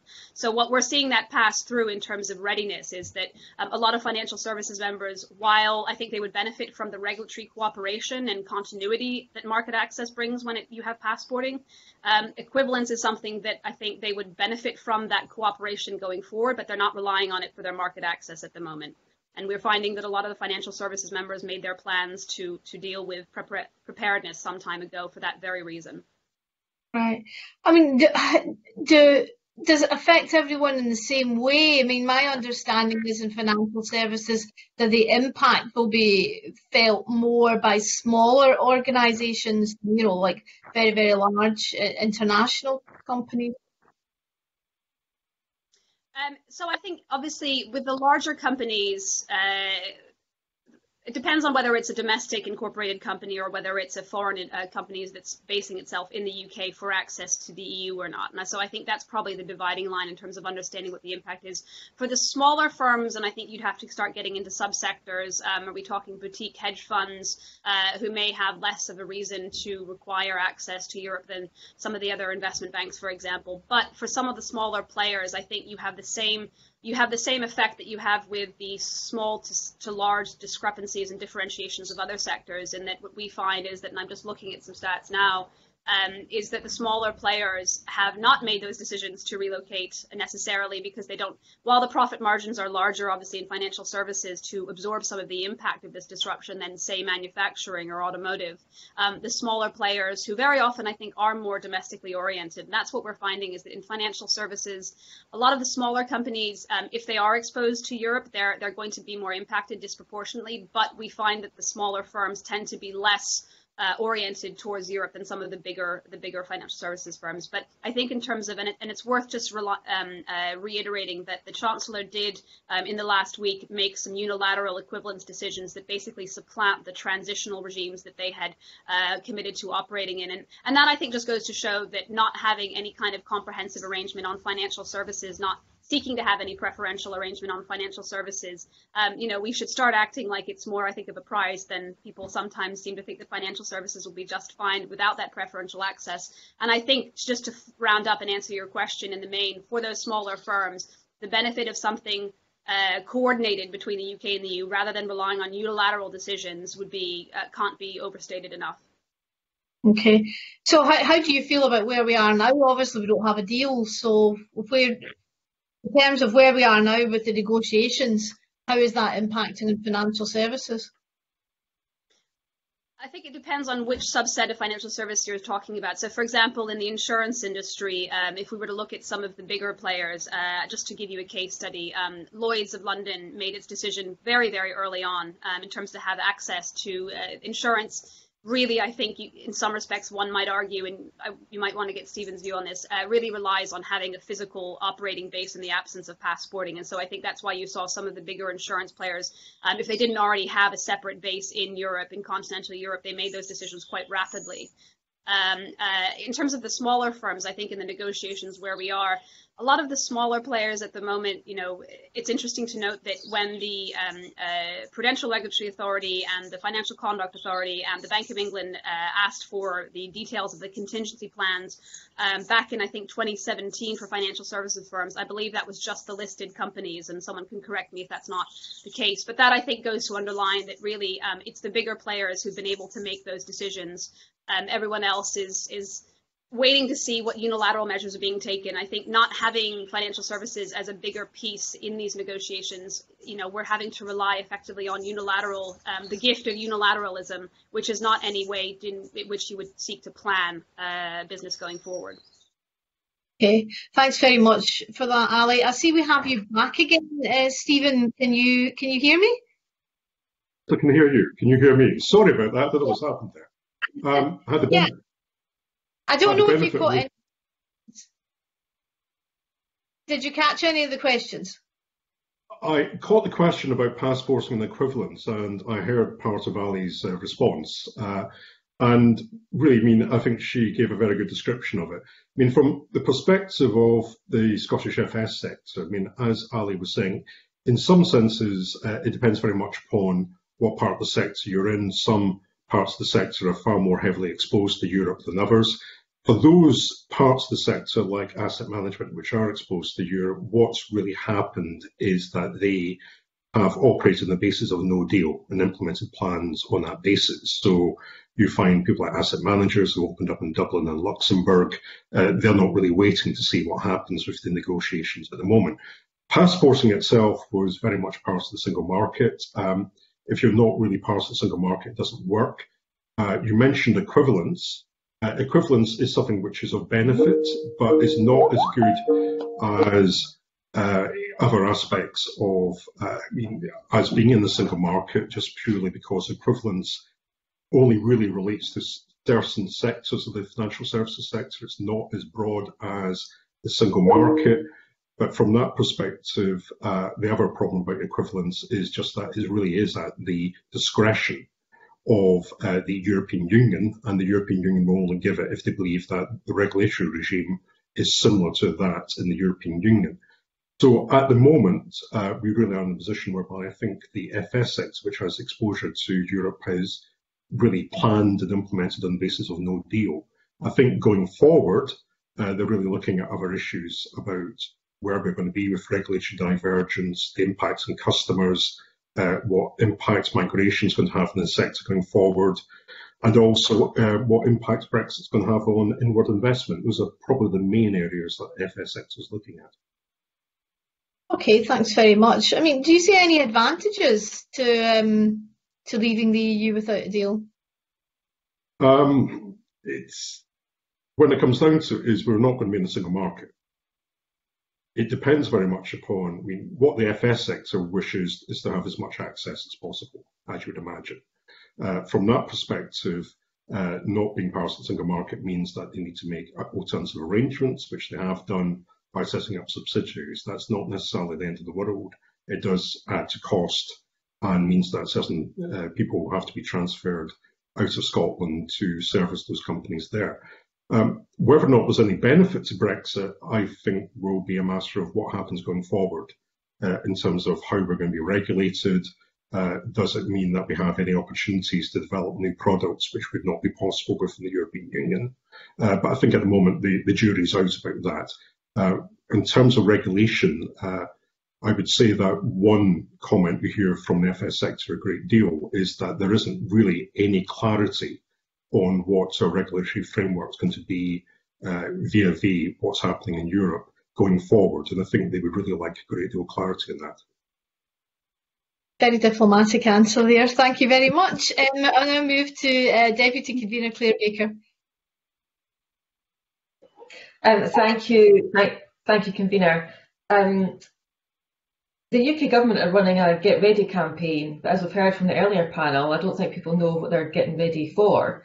Um, and I'm interested to hear from Allie and um, in terms of the, the business sector, what support have they had from the UK and the Scottish Government uh, to get them prepared, even though there's huge question marks over what they're actually preparing for?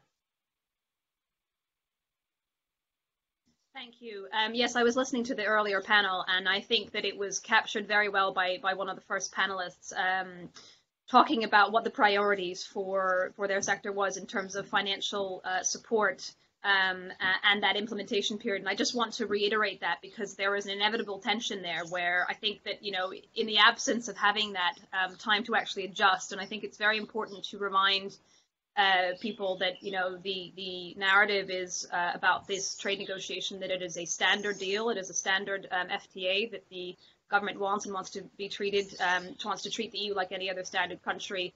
Um, and yet, if we look at standard FTA negotiations, obviously, first of all, they don't tend to do any of the kind of sort of thing that the current, in terms of the effect it has, there's no really, there are compliance changes in terms of adjustment to tariff cuts, but those are generally seen as liberalizing in the first instance anyways, and those are phased in over a number of years. In this case, and I think that he, he captured it perfectly, which is to say that um, we have been expecting a period of time to transition, obviously. And with COVID, um, you know, and I think that the government was right when it says that it didn't want to overwhelm businesses with um, information while COVID was in its first real sort of big swings in the spring and early summer. But we have really been waiting ever since for sort of full details. And I think in the absence of having that time to really adjust, um, the need for financial support, certainly to prepare. It's not just about compensation. It's about not only prepare, support to prepare, but also to adjust because we have a solid chunk of about 30 to 40% of members who've consistently over time said that they cannot prepare in advance. They will only be able to react and adjust. And that's to be expected. You have that, you know, for most, I think, um, European regulations, there's a sort of two year adjustment period. And so in terms of the financial support, and we've certainly had a campaign on this running for the last three years, um, uh, really when we saw the timescales that were going to be compressed, um, which was to say that we needed some kind of fiscal support, either potentially in the form of uh, vouchers, so for example, um, to help offset the cost of accessing that professional advice, because what we find, and I certainly went through this last year, effectively um, acting as a consultant for many of our members, helping them to get ready, is they don't know what they don't need, they don't know what they don't know, and I think that's where you need the help is very often a lot of businesses who, particularly I think in the services sectors, um, who really don't, obviously their job is not to exist to comply with European regulation. Um, they don't understand what it means necessarily to be a third country trading with the EU. Uh, and so very often the questions that we get are asking about, um, you know, what beyond tariffs is it that I need to know? Uh, and I think that, you know, in the absence of having that time to adjust, to understand what it means, because looking at the guidance that we've seen to date, and you mentioned the campaigns, um, you know, I do think in the first wave of the campaign, the Ready Check, uh, Change, Check, Go, it, it really did not come across the sort of urgency that we felt that you know, in terms of a government that was trying to make sure that businesses were preparing, um, I don't think the urgency came across.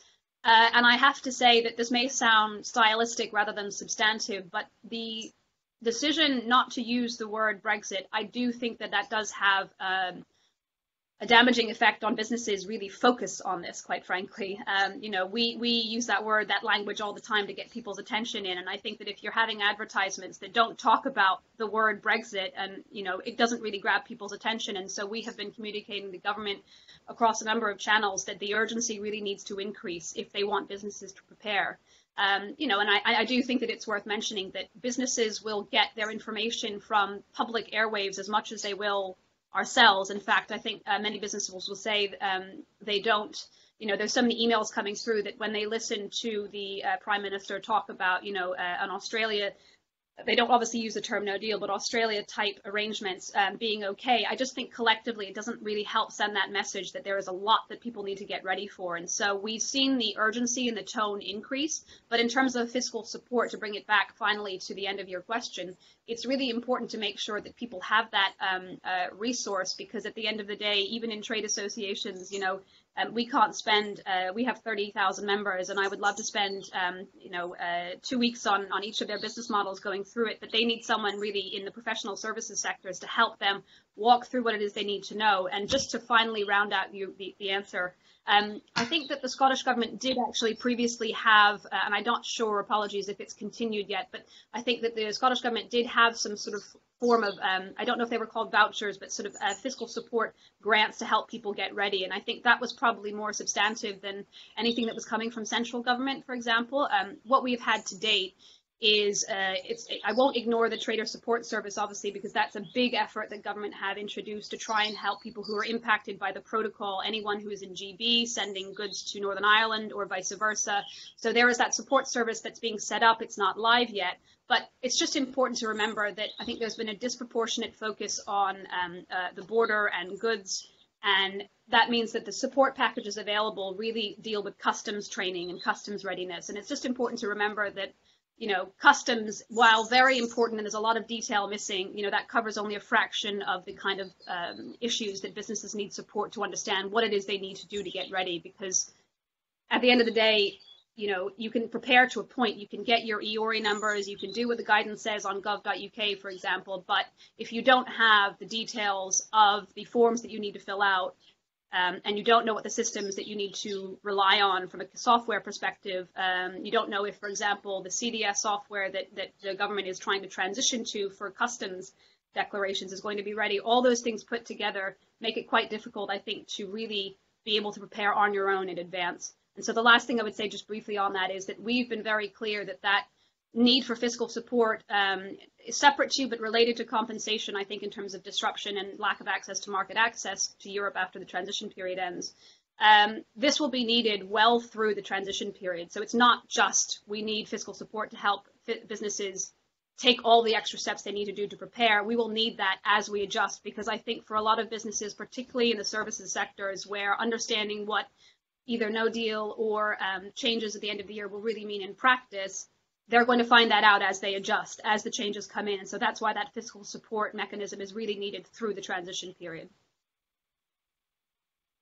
Um, thank you. I mean, it all sounds extremely overwhelming for businesses. And last week we did highlight the um, the, the written off customs officers or capacity within the system to support businesses uh, with this. Can maybe ask about supply chains? The first panel talked a lot about exports, but we talked less about imports um, and what issues you are identifying with businesses around concerns or are there concerns around the, vi the, the viability of supply chains going forward? Yeah, so thank you for the question. Um, in, in terms of the inbound perspective, and I think that you know it is right to surmise that that should be an area where um, there are there should be in theoretically uh, less uncertainty because it is under the control of obviously the UK government in a way that exports to Europe are hard harder to predict what will happen on the day. Um, you know, the government has taken measures in the absence of being willing to countenance extending the end of transition period, in the absence of having a sort of implementation period, which is what we have been calling for for years, knowing that, you know, it was politically likely going to be quite sensitive to extend the transition period with all the bells and whistles that transition provisions uh, are. But we talked a lot about an implementation period, um, uh, or you could backdate the implementation of some of these coming into force. Um, so in terms of from an inbound perspective, what the government has decided to do in the absence of doing that is stagger some of the controls coming in from an import and customs perspective. So for example, um, you will not need to, when you make a customs declaration for most standard goods for imports, you won't have to put all the information on there. You can put a simplified declaration. There are duty deferment provisions, but we're finding that, you know, while on the surface of that, particularly smaller firms uh, welcome that. We, you know, the vast majority of our businesses who export to Europe, uh, particularly goods, import as well. And so, um, you know, there's two sides to that movement, and I think there are limited benefit to having, you know, uh, staggered import controls, particularly when you combine it with the Northern Ireland Protocol, which captures a lot more GB businesses than, let's say, crossing the Irish land border would. That has to come into effect by the end of the year, and so all of that taken together you know, if you have complex supply chains, which um, many of the businesses who are involved in sending goods to and from Europe very often do, um, you're not really necessarily going to take up that staggered import uh, benefit. Postponed VAT accounting, which the government has brought in or is committed to bringing in for both EU and non-EU imports, that is certainly something from a cash flow perspective that businesses will benefit from. But I, I'm cautious about how much benefit the staggered import controls will be because so many businesses will feel the need to do all this as one full step together. Yeah, uh, thank you, convener.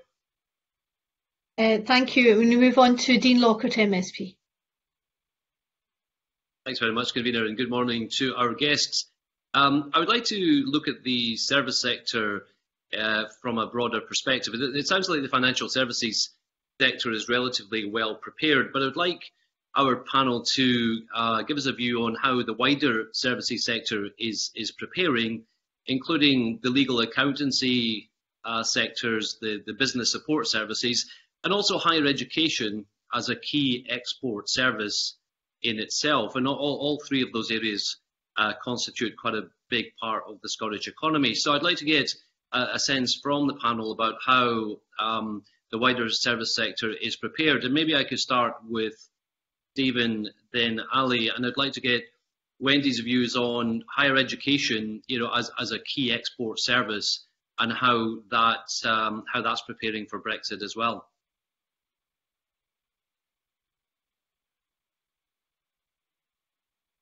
Okay. Um. Stephen? Yeah, if I can take that, sorry, Dean, is that in terms of answering the aspects of your question, in terms of the legal accountancy sector, I, I, think that there are still some concerns about the fact that some of the privileges which they had in the single market are still not bottomed out. For instance, uh, mutual recognition of qualifications, ability of people to be seconded for short periods of time uh, between European countries, which is something certainly which happens within many legal and other professional services companies. Uh, there's also some concern about the fact that uh, the idea of drop in, drop out, where lawyers can actually go and give advice in other countries uh, for a limited period, is still not clarified. I mean, the way that's being addressed is that the uh, certainly the Law Society of Scotland is speaking with other law societies in Europe to try and get some form of mutual recognition, because I think it's got to be uh, understood it's not just purely a UK EU level, it's also a member state to member state level. In terms of higher education, obviously that's something that uh, Wendy can speak about, but I would say that is something which is very important for financial services because uh, financial services is very much a global industry. And the reason why Scotland in particular is actually so successful in that, and we wish to keep it successful, is because of its ability to attract the best talent from throughout the world. So certainly from the viewpoint of migration and inward investment, uh, that's something that they are very keen to ensure that our university sector is still very strong, can attract the best students. Just give you one brief example. If you look at FinTech, which has been a great success uh, for Scotland, where we've had quite a lot of people from all over the world uh, establishing themselves in Scotland and creating well-paid jobs here, uh, that is very much based upon the fact that not only can they attract talent from throughout the world, including Europe, but also it's because we actually have a very good, very well respected university sector. If you look at, for instance, Edinburgh University Informatics School, that is something that is world renowned and is something which most countries would love to have in their jurisdiction. Uh, so from that perspective, uh, certainly looking at it with an FS hat on, but from a service industry hat on generally, is that it's not only about our ability to attract talent directly into companies, it's about the fact that we can turn out graduates who are actually very attractive to potential employers in FS or elsewhere, but also that we can attract students from overseas and also academic staff from overseas who actually can keep places like the informatics schools and other universities uh, up the world rankings. Thanks very much, Stephen. That, that was very helpful. And uh, perhaps I could ask the same question to Allie, but maybe bringing in a, a wider business services perspective in terms of other uh, parts of the service sector in Scotland? Thank you.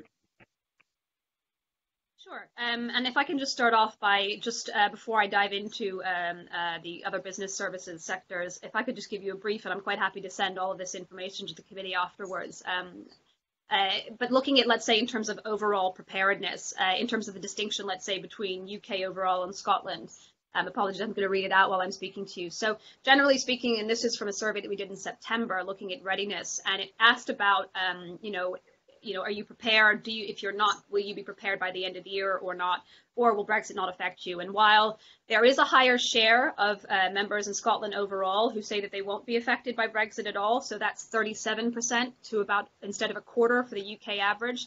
So there is that difference. But then if you look at, you know, putting that aside for the people who do have preparation left, so that's sort of two thirds in, in Scotland who are affected by, by Brexit in terms of our members. Um, it's a much higher share than the UK average who say that they don't think they will be ready by the end of the year. And I think that that to some degree reflects the fact that there is a much, um, in terms of the makeup of our membership in Scotland, um, it's a much more sort of SME, probably heavy focus on the S uh, size compared to the overall average. Um, and we are finding that the smaller companies, generally speaking, are, in terms of statistically, much less likely to feel that they can be ready um, or are able to have all of their questions answered at this point in time.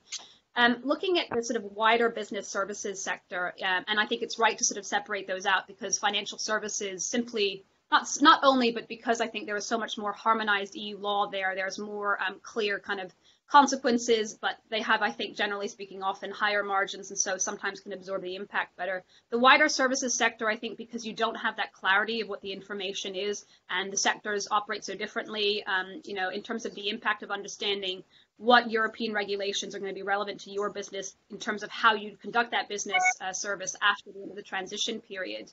Um, it's much harder to really find that kind of information, and I think that's why you're seeing. Um, uh, sorry, I'm just looking at my stats. That's why you're seeing a much higher share in the wider businesses sectors. Um, uh, of our membership saying effectively that while in financial services the vast majority feel much more prepared in the other business sectors um, it's much lower. And i think the reasons for that are you know on the one hand free movement uh, is and was the biggest single uniting issue for access to europe for services sector and businesses generally. I think that that is um, maybe less heightened of an issue simply because people cannot travel at the moment to be able to access their, their, their clients anyway. So that may mitigate some of the impact for services businesses at the end of the transition period.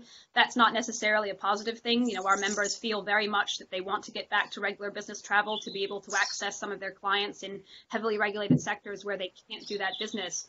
Um, but that aside, you know, what we're finding is that, uh, particularly for the services sector businesses, understanding what the implications of, if you look at some of the European Commission's guidance, for example, in terms of outbound uh, trade, um, very often it will sort of go down a list of the sort of European regulations, which can be very dense, I have to say, to, to read through and understand how the application of that European regulation differs in a, in a non-transition world. And so the questions that we tend to get from the services, the non-financial business services sectors are, apart from the sort of um, uh, movement question, physical movement question, is how is VAT accounted for in the future? Um, what are the sort of the direct and indirect tax implications?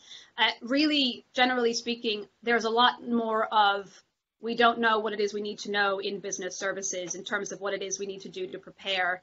And that I think is also um, amplified by the fact that for, in particular, non-financial services planning resorts back once you're a third country outside of the single market. It defaults back to country by country, and so really there's there's a lot less uniformity across Europe that you can rely on in the non-financial services sectors to plan for. You really have to go back to understanding what the arrangements are in Italy, in Germany, and sometimes there are even differences, and that's the difference between being in the single market or not is that floor, that baseline you really have to go back to looking at what the differences are for the regulatory arrangements for your ability to um, service or access clients after the end of the transition period. So uh, this this may not be immediately relevant because there's so little business travel at the moment, although there are those exemptions, obviously. But for example, you know anything from um, if you are uh, delivering a uh, conference, and, some of that is online. You know, um, that service if you are delivering a conference lecture is completely different once you're outside of the single market. But also the the tax arrangements for how you account for that are different. So i think that there's a lot more uncertainty in the non-financial business sectors of understanding exactly what the impact's going to be. And that's why you have a much higher share relative to financial services respondents saying um, no we don't we don't think we're going to be prepared by the end of the year or no we don't have the answers to all of our questions because it really defaults back unless there is some agreement that comes or some details that come out of the agreement, particularly around, as I think Stephen alluded to, mutual recognition of professional qualifications. Um, there's a lot of sort of waiting and trying to understand uh, after the end of transition period what it means for non-financial services. Allie, many thanks for that answer. Very insightful answer because I think, as you say, the business service sector outside financial services is a very diverse uh, group of companies, a very important part of the economy, but very diverse and tend to be, as you say, SMEs. So I think that's an area both the UK government and the Scottish government need to uh, keep an eye on in terms of support uh, going forward. I'd like to now turn to, to Wendy Alexander. And Wendy, I intentionally refer to higher education as a key export sector for Scotland, which I'm sure you will agree with. I, I think it's, it's, it's, and it's increasing. Uh, I'd like to get your views on, generally on how the higher education sector is, is, is prepared or has been preparing, and, and start off with perhaps um, uh, the number of international students coming to Scotland over the past couple of years. Are you seeing, has there been a, an increase, a decrease, or has that the number of international students coming to Scotland for higher education been relatively stable? So I suppose the, the, the pattern essentially has been uh, after September 11th, significant growth in the noughties to the UK from 2010 with the tightening of immigration controls, a plateauing of that number with a very slow increase uh, beginning from a couple of years ago. There is um, encouragement that the graduate visa is being brought back. Britain, of course, opted out of any post-study work visa um, in Scotland, we were very keen to see that maintained. That is now back. You've got um, two former, I see, um, university ministers currently arguing for that to be extended to four years to try and overcome the disadvantage in the market, global marketplace that we put ourselves at for a number of years. I think on the question you answered about the question you asked about export earnings, there are, of course, three export earnings that come into Scotland from higher education. One uh, is the European student cohort. Second one is research income. And the third one is the international student fee income. On the EU student fees, of course, in Scotland, uh, the students don't pay fees, although that is changing. But of course, the European student pound that is spent in Scotland and boosting our export earnings has been very, very large. And that, of course, is under threat as a result of, of those students paying fees. And, and how that balances out, we will see over the next uh, decade. I think the risk to exports uh, is the one around research excellence that others have alluded to. Um, the greatest concern of the sector around uh, Brexit and critically if there is no deal would be that we would uh, no longer be a member of the Horizon 2020 as been now and Horizon Europe. These are the six-year programmes of European research. It is the most successful European research programme and Scotland has done incredibly well out of that. We have um, won competitively in that 755 million over the last six years of the Horizon 2020 programme and all of that um, will go unless we are participants in the next scheme. The UK government have said they will try and match the scheme if there's no deal. But of course, fundamentally, these are about global collaboration. So that is in play. And then your question about what's the impact of that on international student fees? And by that I mean international students coming from out with uh, the EU. For those students, why do they come to the UK? Why do they come to Scotland? As others have said, they come for reputation. And that reputation is fundamentally based in research excellence. We have four out of the top 200 universities uh, in the globe at the moment. They are coming for that reputation, and that reputation is at risk if our scientists are excluded from participation in the, the major European research programs. And the other thing, which is smaller scale but also significant, is many international students come here and they want to see Europe and they come and participate in things like Erasmus. And that, of course, is the other area that is at risk um, as a result of, of us not reaching a deal, those two big programs on research and, and, and on Erasmus. Uh, I'll leave it there, Dean. I don't know if that covers your questions. It, it was fantastic, Wendy. Thank you. Very, very comprehensive uh, response. And I, am going to hand over to others because I, am sure others will want to follow up with you on, on some of those issues. And thank you to Stephen and Allie as well for your answers to my questions. Convener, convener back to you. Thank you very much, Dean. I will now move to Ross Greer. Thank you, convener. Um, I'd be interested in uh, the panel's thoughts on the impact of the Irish Protocol and the uh, customs border, the internal uh, UK border between uh, Great Britain and Northern Ireland, what impact that might have on, on supply chains in your industries, on market access, etc. But before I come to that, um, I, would be very keen to follow up Dean's uh, line of questioning uh, to Wendy, because that answer was, was really useful. Um, if I could just put it simply, Wendy, in terms of the issues you've raised around things like uh, uncertainty over Erasmus, how challenging or not is it for universities right now to plan for the 21-22 academic year? What immediate impacts are these issues of uncertainty having on your ability to plan for next year? Ah, huge. I mean, look, the Parliament yesterday was debating how do we test every student in Scotland in about 10 days' time with lateral flow tests. How do we try and send people home, making sure everybody gets the you know sufficient professional hours to graduate in our clinical subjects, and how do we look after everybody who will be who will be on campus through the Christmas period?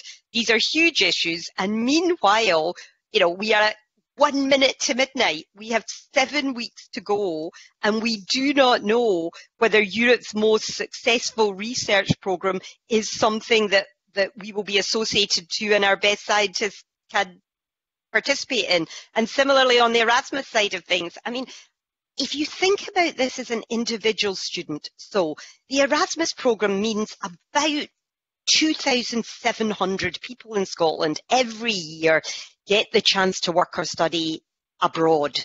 And the current scheme that is underwriting for this year then comes to an end. And we have no idea whether we will be in Erasmus or not from 20, 2021 to 2027. And the program's doubling, it's huge, and we don't know whether we're going to be in it. So if you think of a student who say perhaps, you know, sat there um, six year studies in, in, in in May there or didn't sit them, did, sat, didn't sit them, came to university, is in their first year, is studying from home, worrying about how they get at home, and they had the aspiration to spend their second or third year either in Europe or somewhere around the globe. The tragedy of, of the staff we have at DC, we cannot tell them if there will be a scheme for them to participate in. And again, in fairness to the UK government and, and the Scottish government too, they've said, well, we'll put in place an alternative. But if I take just our example, we have 100 different Erasmus agreements operating with different institutions. The idea that in the next 18 months we can come up with bilateral arrangements with all those institutions to guarantee that poor first year student that they will have the chance to do this in their second or, or third year, that's the that's the sadness having you know having had to consign students to their bedroom to complete their school studies having to confine them to their residences now and not being able to tell them whether that opportunity of, of, of, a, of a year abroad, that as I say, normally two, 2,700 people benefit from. It also impacts staff because Erasmus is, of course, a scheme that isn't just for universities, it's for colleges, it's for businesses, it, there are innovative projects in there, staff can participate, and all of that is likely to, or many of those add-on aspects that have added great richness are likely to go to the wall in a pared down UK scheme unless we do a deal. Uh, just on that point around um, staff, I could follow that up. Uh, uh, this committee was where we took evidence on it at the time. Off the back of the, the referendum result in 2016, there was a bit of an impact on staff from elsewhere in Europe, quite understandably feeling at that point that they just wanted to, to move back home or, or to move somewhere else that would remain within the EU. That then seemed to settle for a couple of years while uh, other people waited to see what the outcome was going to be. Do you have any indication yet now on whether there's, there's going to be a further impact, a, a further, I'm not going to use the word exodus because I don't think it's en masse, but no. um, a further impact on, on staff from elsewhere in Europe who are now waiting to see whether or not to make that, that decision for next year? You're right to point to this is about the global attractiveness of Scotland for the world's best early career researchers. And in the old days, an early career researcher in Europe knew that they could, for example, come to Dundee and work in the life sciences unit and they didn't have to worry about whether they'd a visa, whether they'd paid, you know, whether their spouse had a visa, they were there, there was free movement. It was the essence of free movement. You found an excellent institution doing research in the area you wanted and you you followed your research passion. It is fair to say that, and, and I think it, I, I think you're right to point to if you're that young student in or that young postdoc in Germany wanting to do research in a life sciences area that we have in Dundee or in a biomedical area that Glasgow or Edinburgh has excellence in, your question is, do I need a visa? What kind of visa? How long will it last? What about my spouse? What will the health service cost for my children? All of that is now in play. And whilst in fairness to the government, they have brought in a global talent visa, they announced it in February that says skills, skilled scientists can apply without a job offer. My contention to you is that the young skilled scientists in any one of those 27 EU countries does not know that. And I think there's a piece of evidence we've submitted that the Wellcome Trust have just published saying that the cost of that young scientist, uh, if they have spouse and they have two young children coming to work in Scotland for four years, taking a visa for four years, is £13,000 on the immigration health surcharge when you look at the application cost, the adult cost, and the children's cost. And in France, the talent visa costs you £1,000. So your question to me about does it make Britain look and Scotland look less attractive? They're the sort of numbers that that, that young career scientist is, is looking at. But more than anything, they don't know whether when they come here they will be able to participate as a leading collaborator in Europe's most excellent research scheme. They don't know whether they will be able to be a participant in that. And I think we do have anxieties about how that will impact us uh, long term. And I would just say finally on that, when the Swiss were temporarily excluded in 2014 from the scheme, five years later, they were saying actually it had a very, very serious deleterious impact, reducing the number of projects from over 4,000 down to 300. So unlike other speakers, some of these effects are not ones that will happen at, um, you know, the 2nd of January 21, but there is evidence that should concern us about the long-term impact that this has on the brightest and best scientists choices they're making about where Scotland and the UK fits in their career trajectory and plans. Thank you. It's uh, not a positive story, but one we need to hear. Um, I mentioned at the, at the start, if, if, anyone else on the panel has um, any particular thoughts on what the impact of the, the Irish protocol and the internal UK customs border is going to be on, on your sectors on issues like supply chain, uh, it would it would be great to hear it. But uh, I'm, I'm conscious of of time. So unless anyone's jumping to get in on that, uh, I think there's other members wishing to come in. Are we okay to move on? Oh, Allie's indicating she'd like to come in. If we could keep answers uh, quite brief as, as, well, please, because we, we do have to get through uh, the whole committee. Thanks. I will be brief because I know my answers were quite um, extended and loquacious before. Just really briefly, I think that just to expand on the point that I made earlier, um, whereas the land, and I don't really think that this is, it seems obvious, but isn't really under, appreciated fully, I think, um, uh, by how that tr uh, trickles down into business planning and business operations. You know, with the land border, there was very few GB companies, apart from maybe people who were um, in those sort of supply chains who were affected by it. Now with the protocol, and I think it's just really important to, under, to, to um, underline how the protocol and the number of businesses that it catches up. And I think almost to our surprise, given that our membership is about two thirds services, a third 40% are in goods, um, 41% of our members in GB alone uh, said that they were involved in some way trading goods to or from Northern Ireland. A much higher share, I think, than most people tend to expect. And I think that you know the lack of um, the lack of understanding of uh, you know the negotiations aren't complete, the at-risk um, goods still haven't been determined, and that's sort of really the, the tail that wags the dog of all of this. Um, and I think that it makes planning that much more difficult because it's such a new area this wasn't in place as of uh, last year or, or, certainly before last year. And so when people contend that businesses have had this sort of extended time and period to plan, this is a completely new element. And I think that, you know, increasingly and from a Northern Ireland perspective, um, but also from a Scotland perspective, their concern, of course, is, is that um, as people understand the new costs of sending goods in particular to Northern Ireland, um, it becomes more, uh, it becomes easier to effectively just cut Northern Ireland out of the supply chain rather than deal with that cost. Um, so I think in terms of planning, it really exacerbates in terms of having that lack of detail and the the significance of the detail that's missing at the moment in those negotiations just complicates and, and makes it harder for people to really sit down and say we are going to be able to be ready by the end of the year. Thank you. Thanks very much. Uh, Kenneth Gibson. Oh, Kenneth Gibson's in. Uh, you here? Kenneth? Oh, okay, right. Uh, can we move on? Uh, Stewart Stevenson. Uh, thank you very much, uh, Convener. I, have just got a wee snippy question for uh, for Wendy. Um, my mother in 1931 spent some months uh, studying at the Foyer International d'Études in, in Paris. Uh, and, and, that was an enormous benefit to her uh, teaching career as a, as a linguist.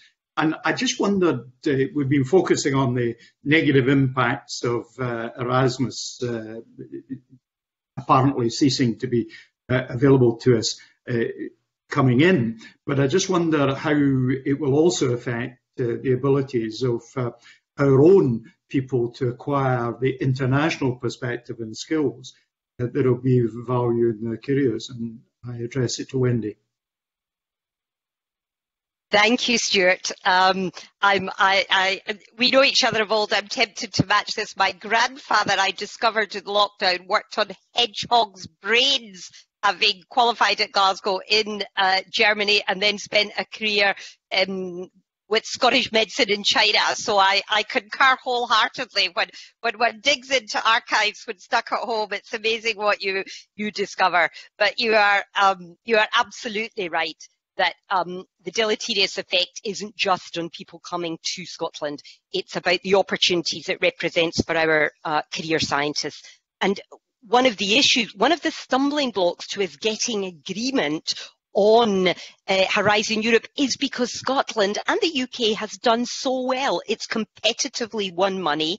We have won in Scotland 755 million of that. And the tragedy of this is to say that we will not be able to be the leaders on leading those big international research consortia across Europe. I would simply say that in 30% of those projects that I mentioned, um, Scotland have been the coordinators, 54 organisations in Scotland taking the lead. Those opportunities won't be there unless we are a full associate member, and we can't be a full associate member unless there's unless there's a deal. I'll leave it there. Uh, thank you very much, Wendy. If, if, others on the panel would want to say uh, uh, briefly of any impact uh, and are losing a sense of international perspective by uh, our students not uh, having the opportunity to go abroad, whether that's of a, a long term. Perhaps starting with the CB, the Director, Institute of Directors. Yes, I think it's something that I'd be quite happy without um, spending too much time now to write in separately in some detail on because um, uh, we have another part of the of, of, our department who sort of deals exclusively with looking at sort of student um, student uh, student skills, student uh, higher education, and connected to that sort of mobility. Um, I mean, I just I think I would re, re, reiterate that in terms of the from an international perspective, you know that free movement of people, the ability to send students back and forth.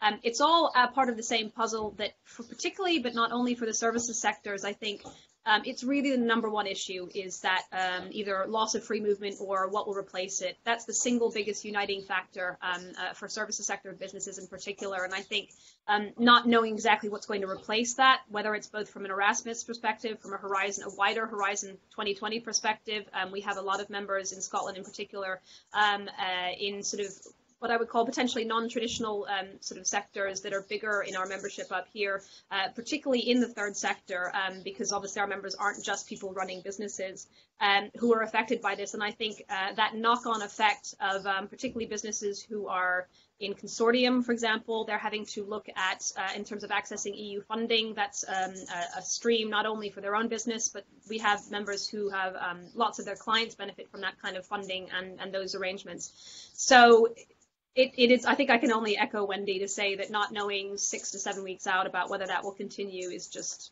fairly unacceptable. Briefly from Stephen, possibly.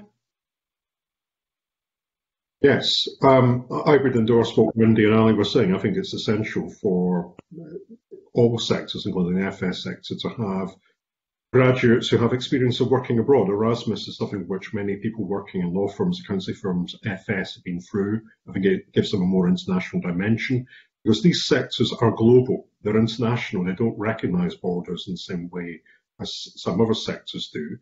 And also, it's not even about graduate sectors, even when we're training people to ensure that on a legal and accountancy basis, we are internationally recognised and respected, is that we need to have that uh, movement of people between Scotland, the UK, and the rest of the world, particularly Europe. I can think of myself examples in last year of people who work for me who have spent six months in Vienna, six months in Prague. I think it's essential for our competitiveness going forward that we continue to be open with that.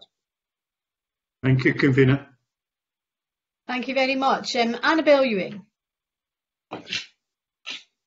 Thank you, Convener. Good morning uh, to our panel and, uh, and uh, noting that we're running out of time. I think I'll, if, if I could, unless the others wish to come in, direct my comments to uh, Stephen uh, Phillip. And picking up on an earlier point that was raised about potential impacts on services, non-financial services sector, including accountancy and legal profession, I just wonder um, what consideration has been given to the downstream impacts in terms of the uh, uh, uh, obvious uh, clamour to relocate on the part of many, many financial institutions. I understand some 320 firms have relocated to uh, secure the single financial services passport.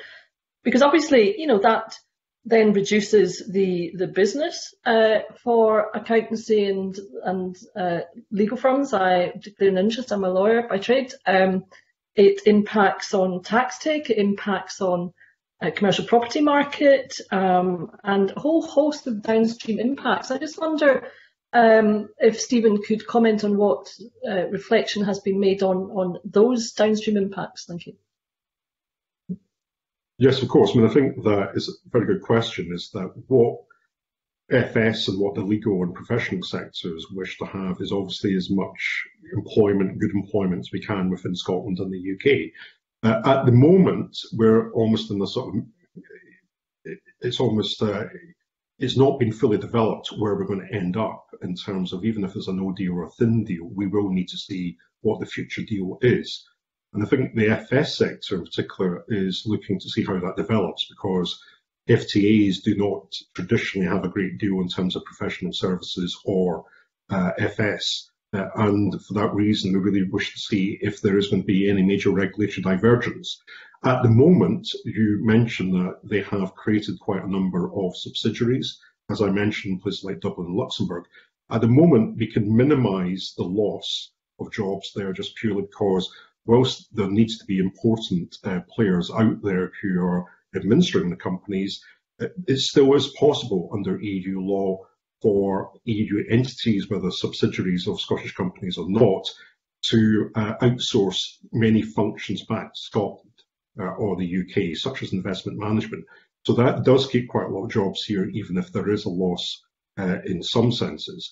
What would concern FS going forward is that if we do not get a developed deal with the EU, Um, what's going to happen? Is there going to be any reduction in our access going forward in terms of outsourcing? We know that the European Parliament have been muttering about looking again at outsourcing of certain investment functions outside the EU. If that were to happen, I think that would have a more significant impact on employment. So it's vitally important from the FS sector we try to avoid that. Yes, I, I, absolutely agree with you. I mean, obviously, you know, I, I, take your point about outsourcing, but nonetheless, it is quite clear also under EU law uh, that you can't simply have a boilerplate to get the passport. You have to have a meaningful head office incorporation, uh, uh, and that is quite clear from EU free movement uh, uh, cases before the ECJ. And therefore, you know, it's a balance as to how you convince the local uh, uh, banking authority or investment services authority that you have met that requirement. And so that is that's a cost. That is a cost. There's no getting away from that for business. And then you have to consider also to compete. Um, you know, do you have a branch network? And that's another cost because you can't use the, the current structure. Uh, uh, uh presumably, even if it's it's it's uh, you know there are currently branches in other member states, you can't use that because it's not part of the passport. Is that not correct? No, that's correct. And I think that there is a cost, there is a hassle factor behind having to create um, subsidiaries because from a viewpoint of any EU member state, uh, people would prefer to be able to do it under one passport so that they have to minimise having to have risk officers, chief financial officers in other member states. So that is certainly something which um, FSX was pretty flexible, it's got good bandwidth, and for that reason it can adapt. But certainly it's added to cost, it's added to more regulatory burden. Uh, what I was trying to emphasize is the fact at the moment that's probably something which they can minimize because, as you make the very good point, it's not just a matter of a brass plate. You need to have people there who are functioning, who are controlling from a risk perspective. At the moment, because of outsourcing, what that does mean, however, is that quite a lot of those investment functions, many of the well-paid jobs in Scotland, for instance, and not necessarily well-paid jobs, can be done from Scotland and the UK. If there's a change from that, then what it does mean is that it's going to be a more significant outflow of jobs. It's going to be more difficult to service those EU entities from the UK. So that's very important that we avoid that. They've adapted to what there is at the moment, but going forward, they would not wish to have to do more in that respect. Well, I, I can imagine that's the case, and indeed looking to the future. My last question, I may, convener. Um, I mean, you know, it's been made quite clear that if you want to be in the single market, get the benefits of the single market, you've got to comply with the rules of the single market. There's no free pass. If you don't want to do that, you don't get the same benefits that the members of the single market get. Why on earth would you? I mean, what sense would that make? So my understanding is that in terms of recent discussions, there has been a desire on the part of the UK government to get greater market access for uh, UK uh, uh, and including Scottish firms, but by the same token, not seeming to want to have the regulatory alignment that the EU uh, would be uh, demanding. So, uh, if that is the case at the moment, what what room for manoeuvre do you see in the negotiations, which have got 49 days left to go? Um, I would say that I don't think anyone's holding out much hope there's going to be much on FS, if anything at all, in any deal which is created. And that's that has caused issues in one sense, which is Joan mentioned at the very beginning, equivalence. Uh, there's going to be no equivalence determinations except in one minor area until the new year. So that means that FS is not aware what equivalence arrangements it's going to have going forward, albeit to an extent they're preempted that on the basis of no deal planning. The point about regulatory divergence is a very good one because at the moment there isn't really clarity about where we're going with regulation. Mean, certainly the EU have made the point that they will tell the UK what access you can have once you tell us what divergence or what regulatory regime you're going to have post-transition. So there's a bit of a standoff there.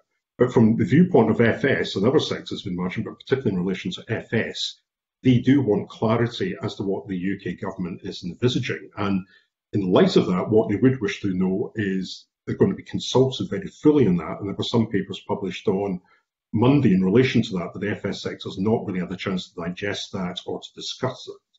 But what they would really wish is that if there is no regulation divergence, firstly, it's got to be something that improves the market competitiveness of the sector.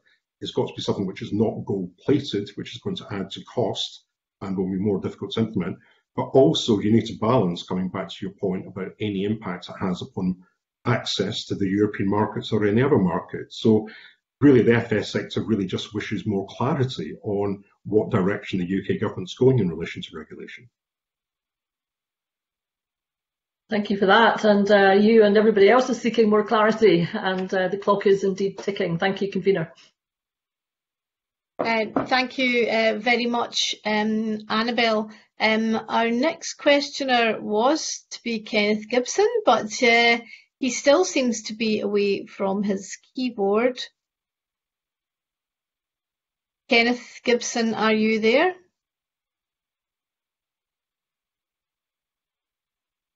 Okay. Do any other members have any uh, supplementaries that they wish to ask?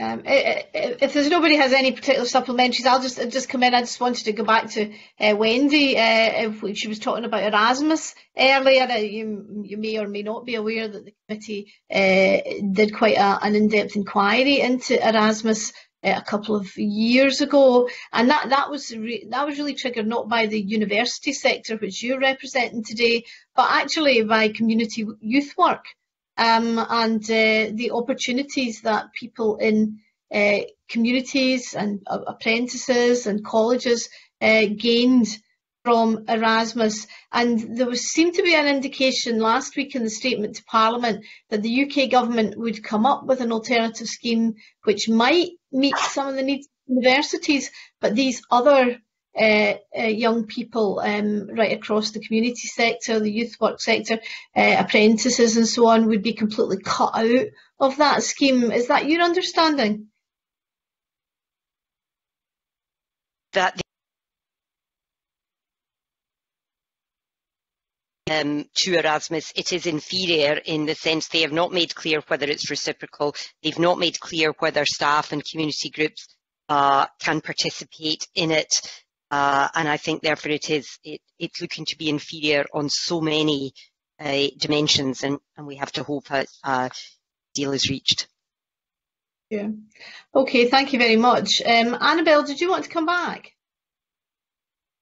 I was just typing. Sorry, because half of my keyboard is tilted off my keyboard platform. So I was just uh, going to say that actually um, you had quite rightly raised the, the Erasmus issue. I would just echo uh, Wendy's uh, concerns. I mean, my, my mother actually was very involved in Erasmus being set up when she was the uh, convener of the relevant committee, the Education Culture Committee, I think it was in the European Parliament when she was an MEP, and I, something I feel very, very strongly about, and it breaks my heart actually to see where we're heading on this. Thank you.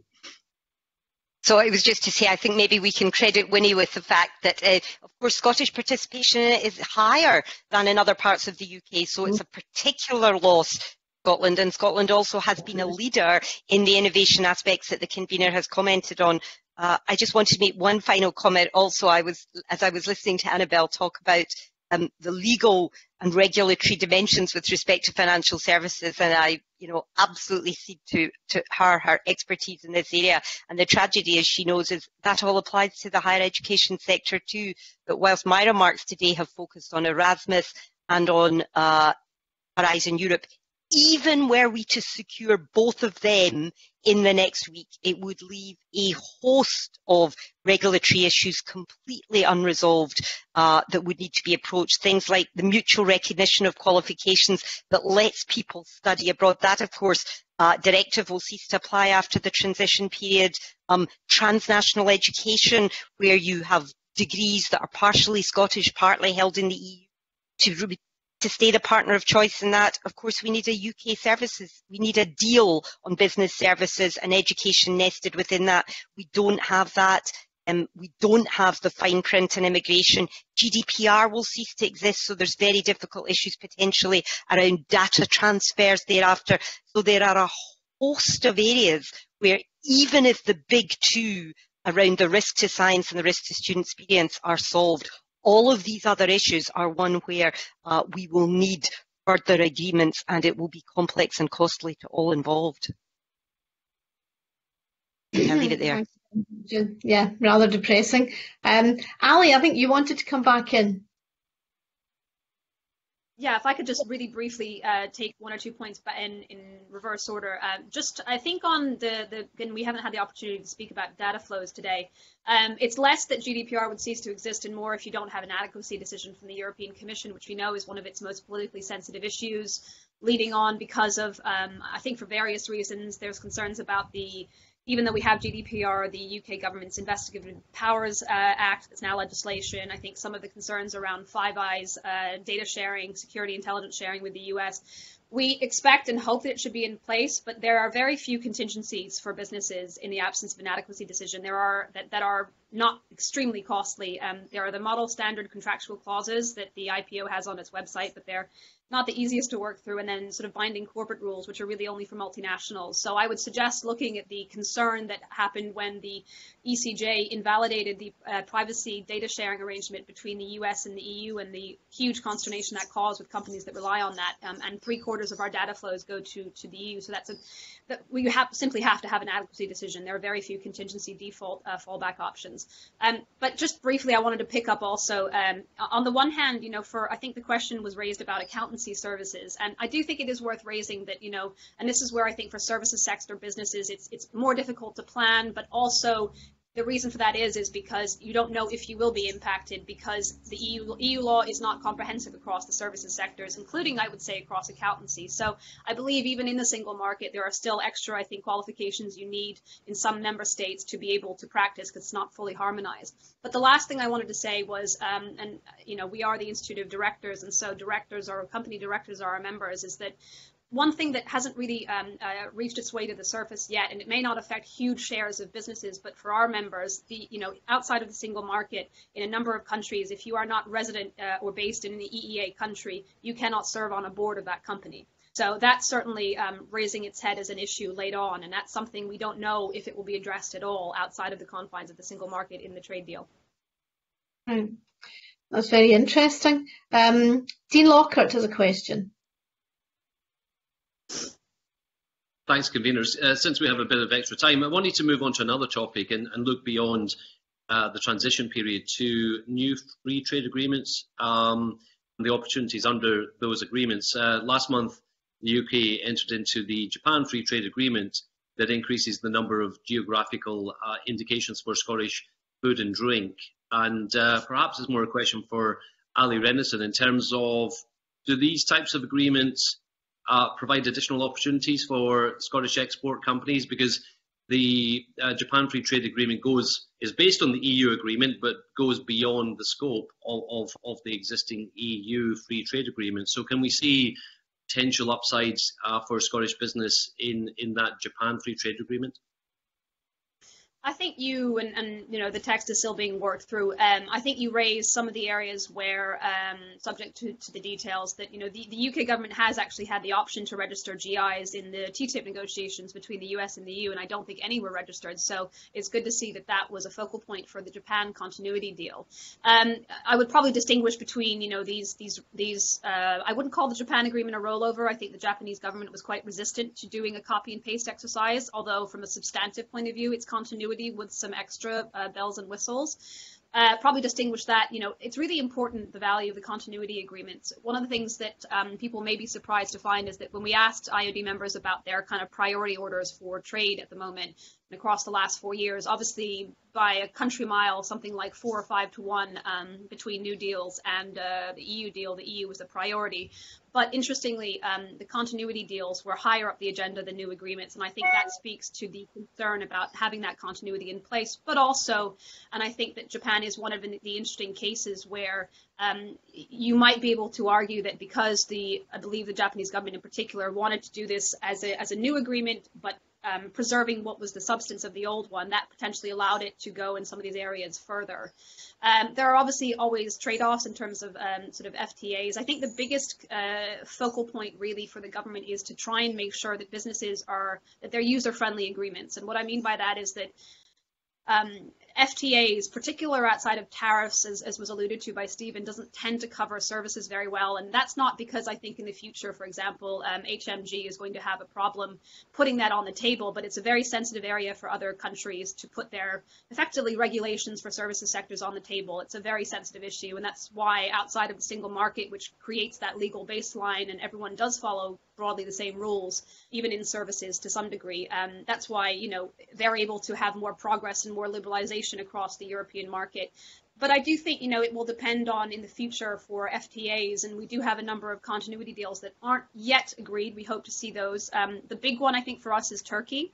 Uh, Turkey is its own beast simply because it's in a customs union with the EU, and obviously we are not going to be in a customs union with the EU. So that's probably, um, you know, the value of continuity or some degree of continuity simply because we know we are not going to have perfect continuity with Turkey as we did as we know, we won't with the EU in that respect because we will be varying our import tariffs, and so rules of origin will suddenly start applying to trade, um, which is quite a complicating factor. But I think it's not just about the, the, the, new opportunities. I think for the time being, the focus is really on making sure that, that we are able to stand still and have that continuity in a time of huge change in other areas as much as possible.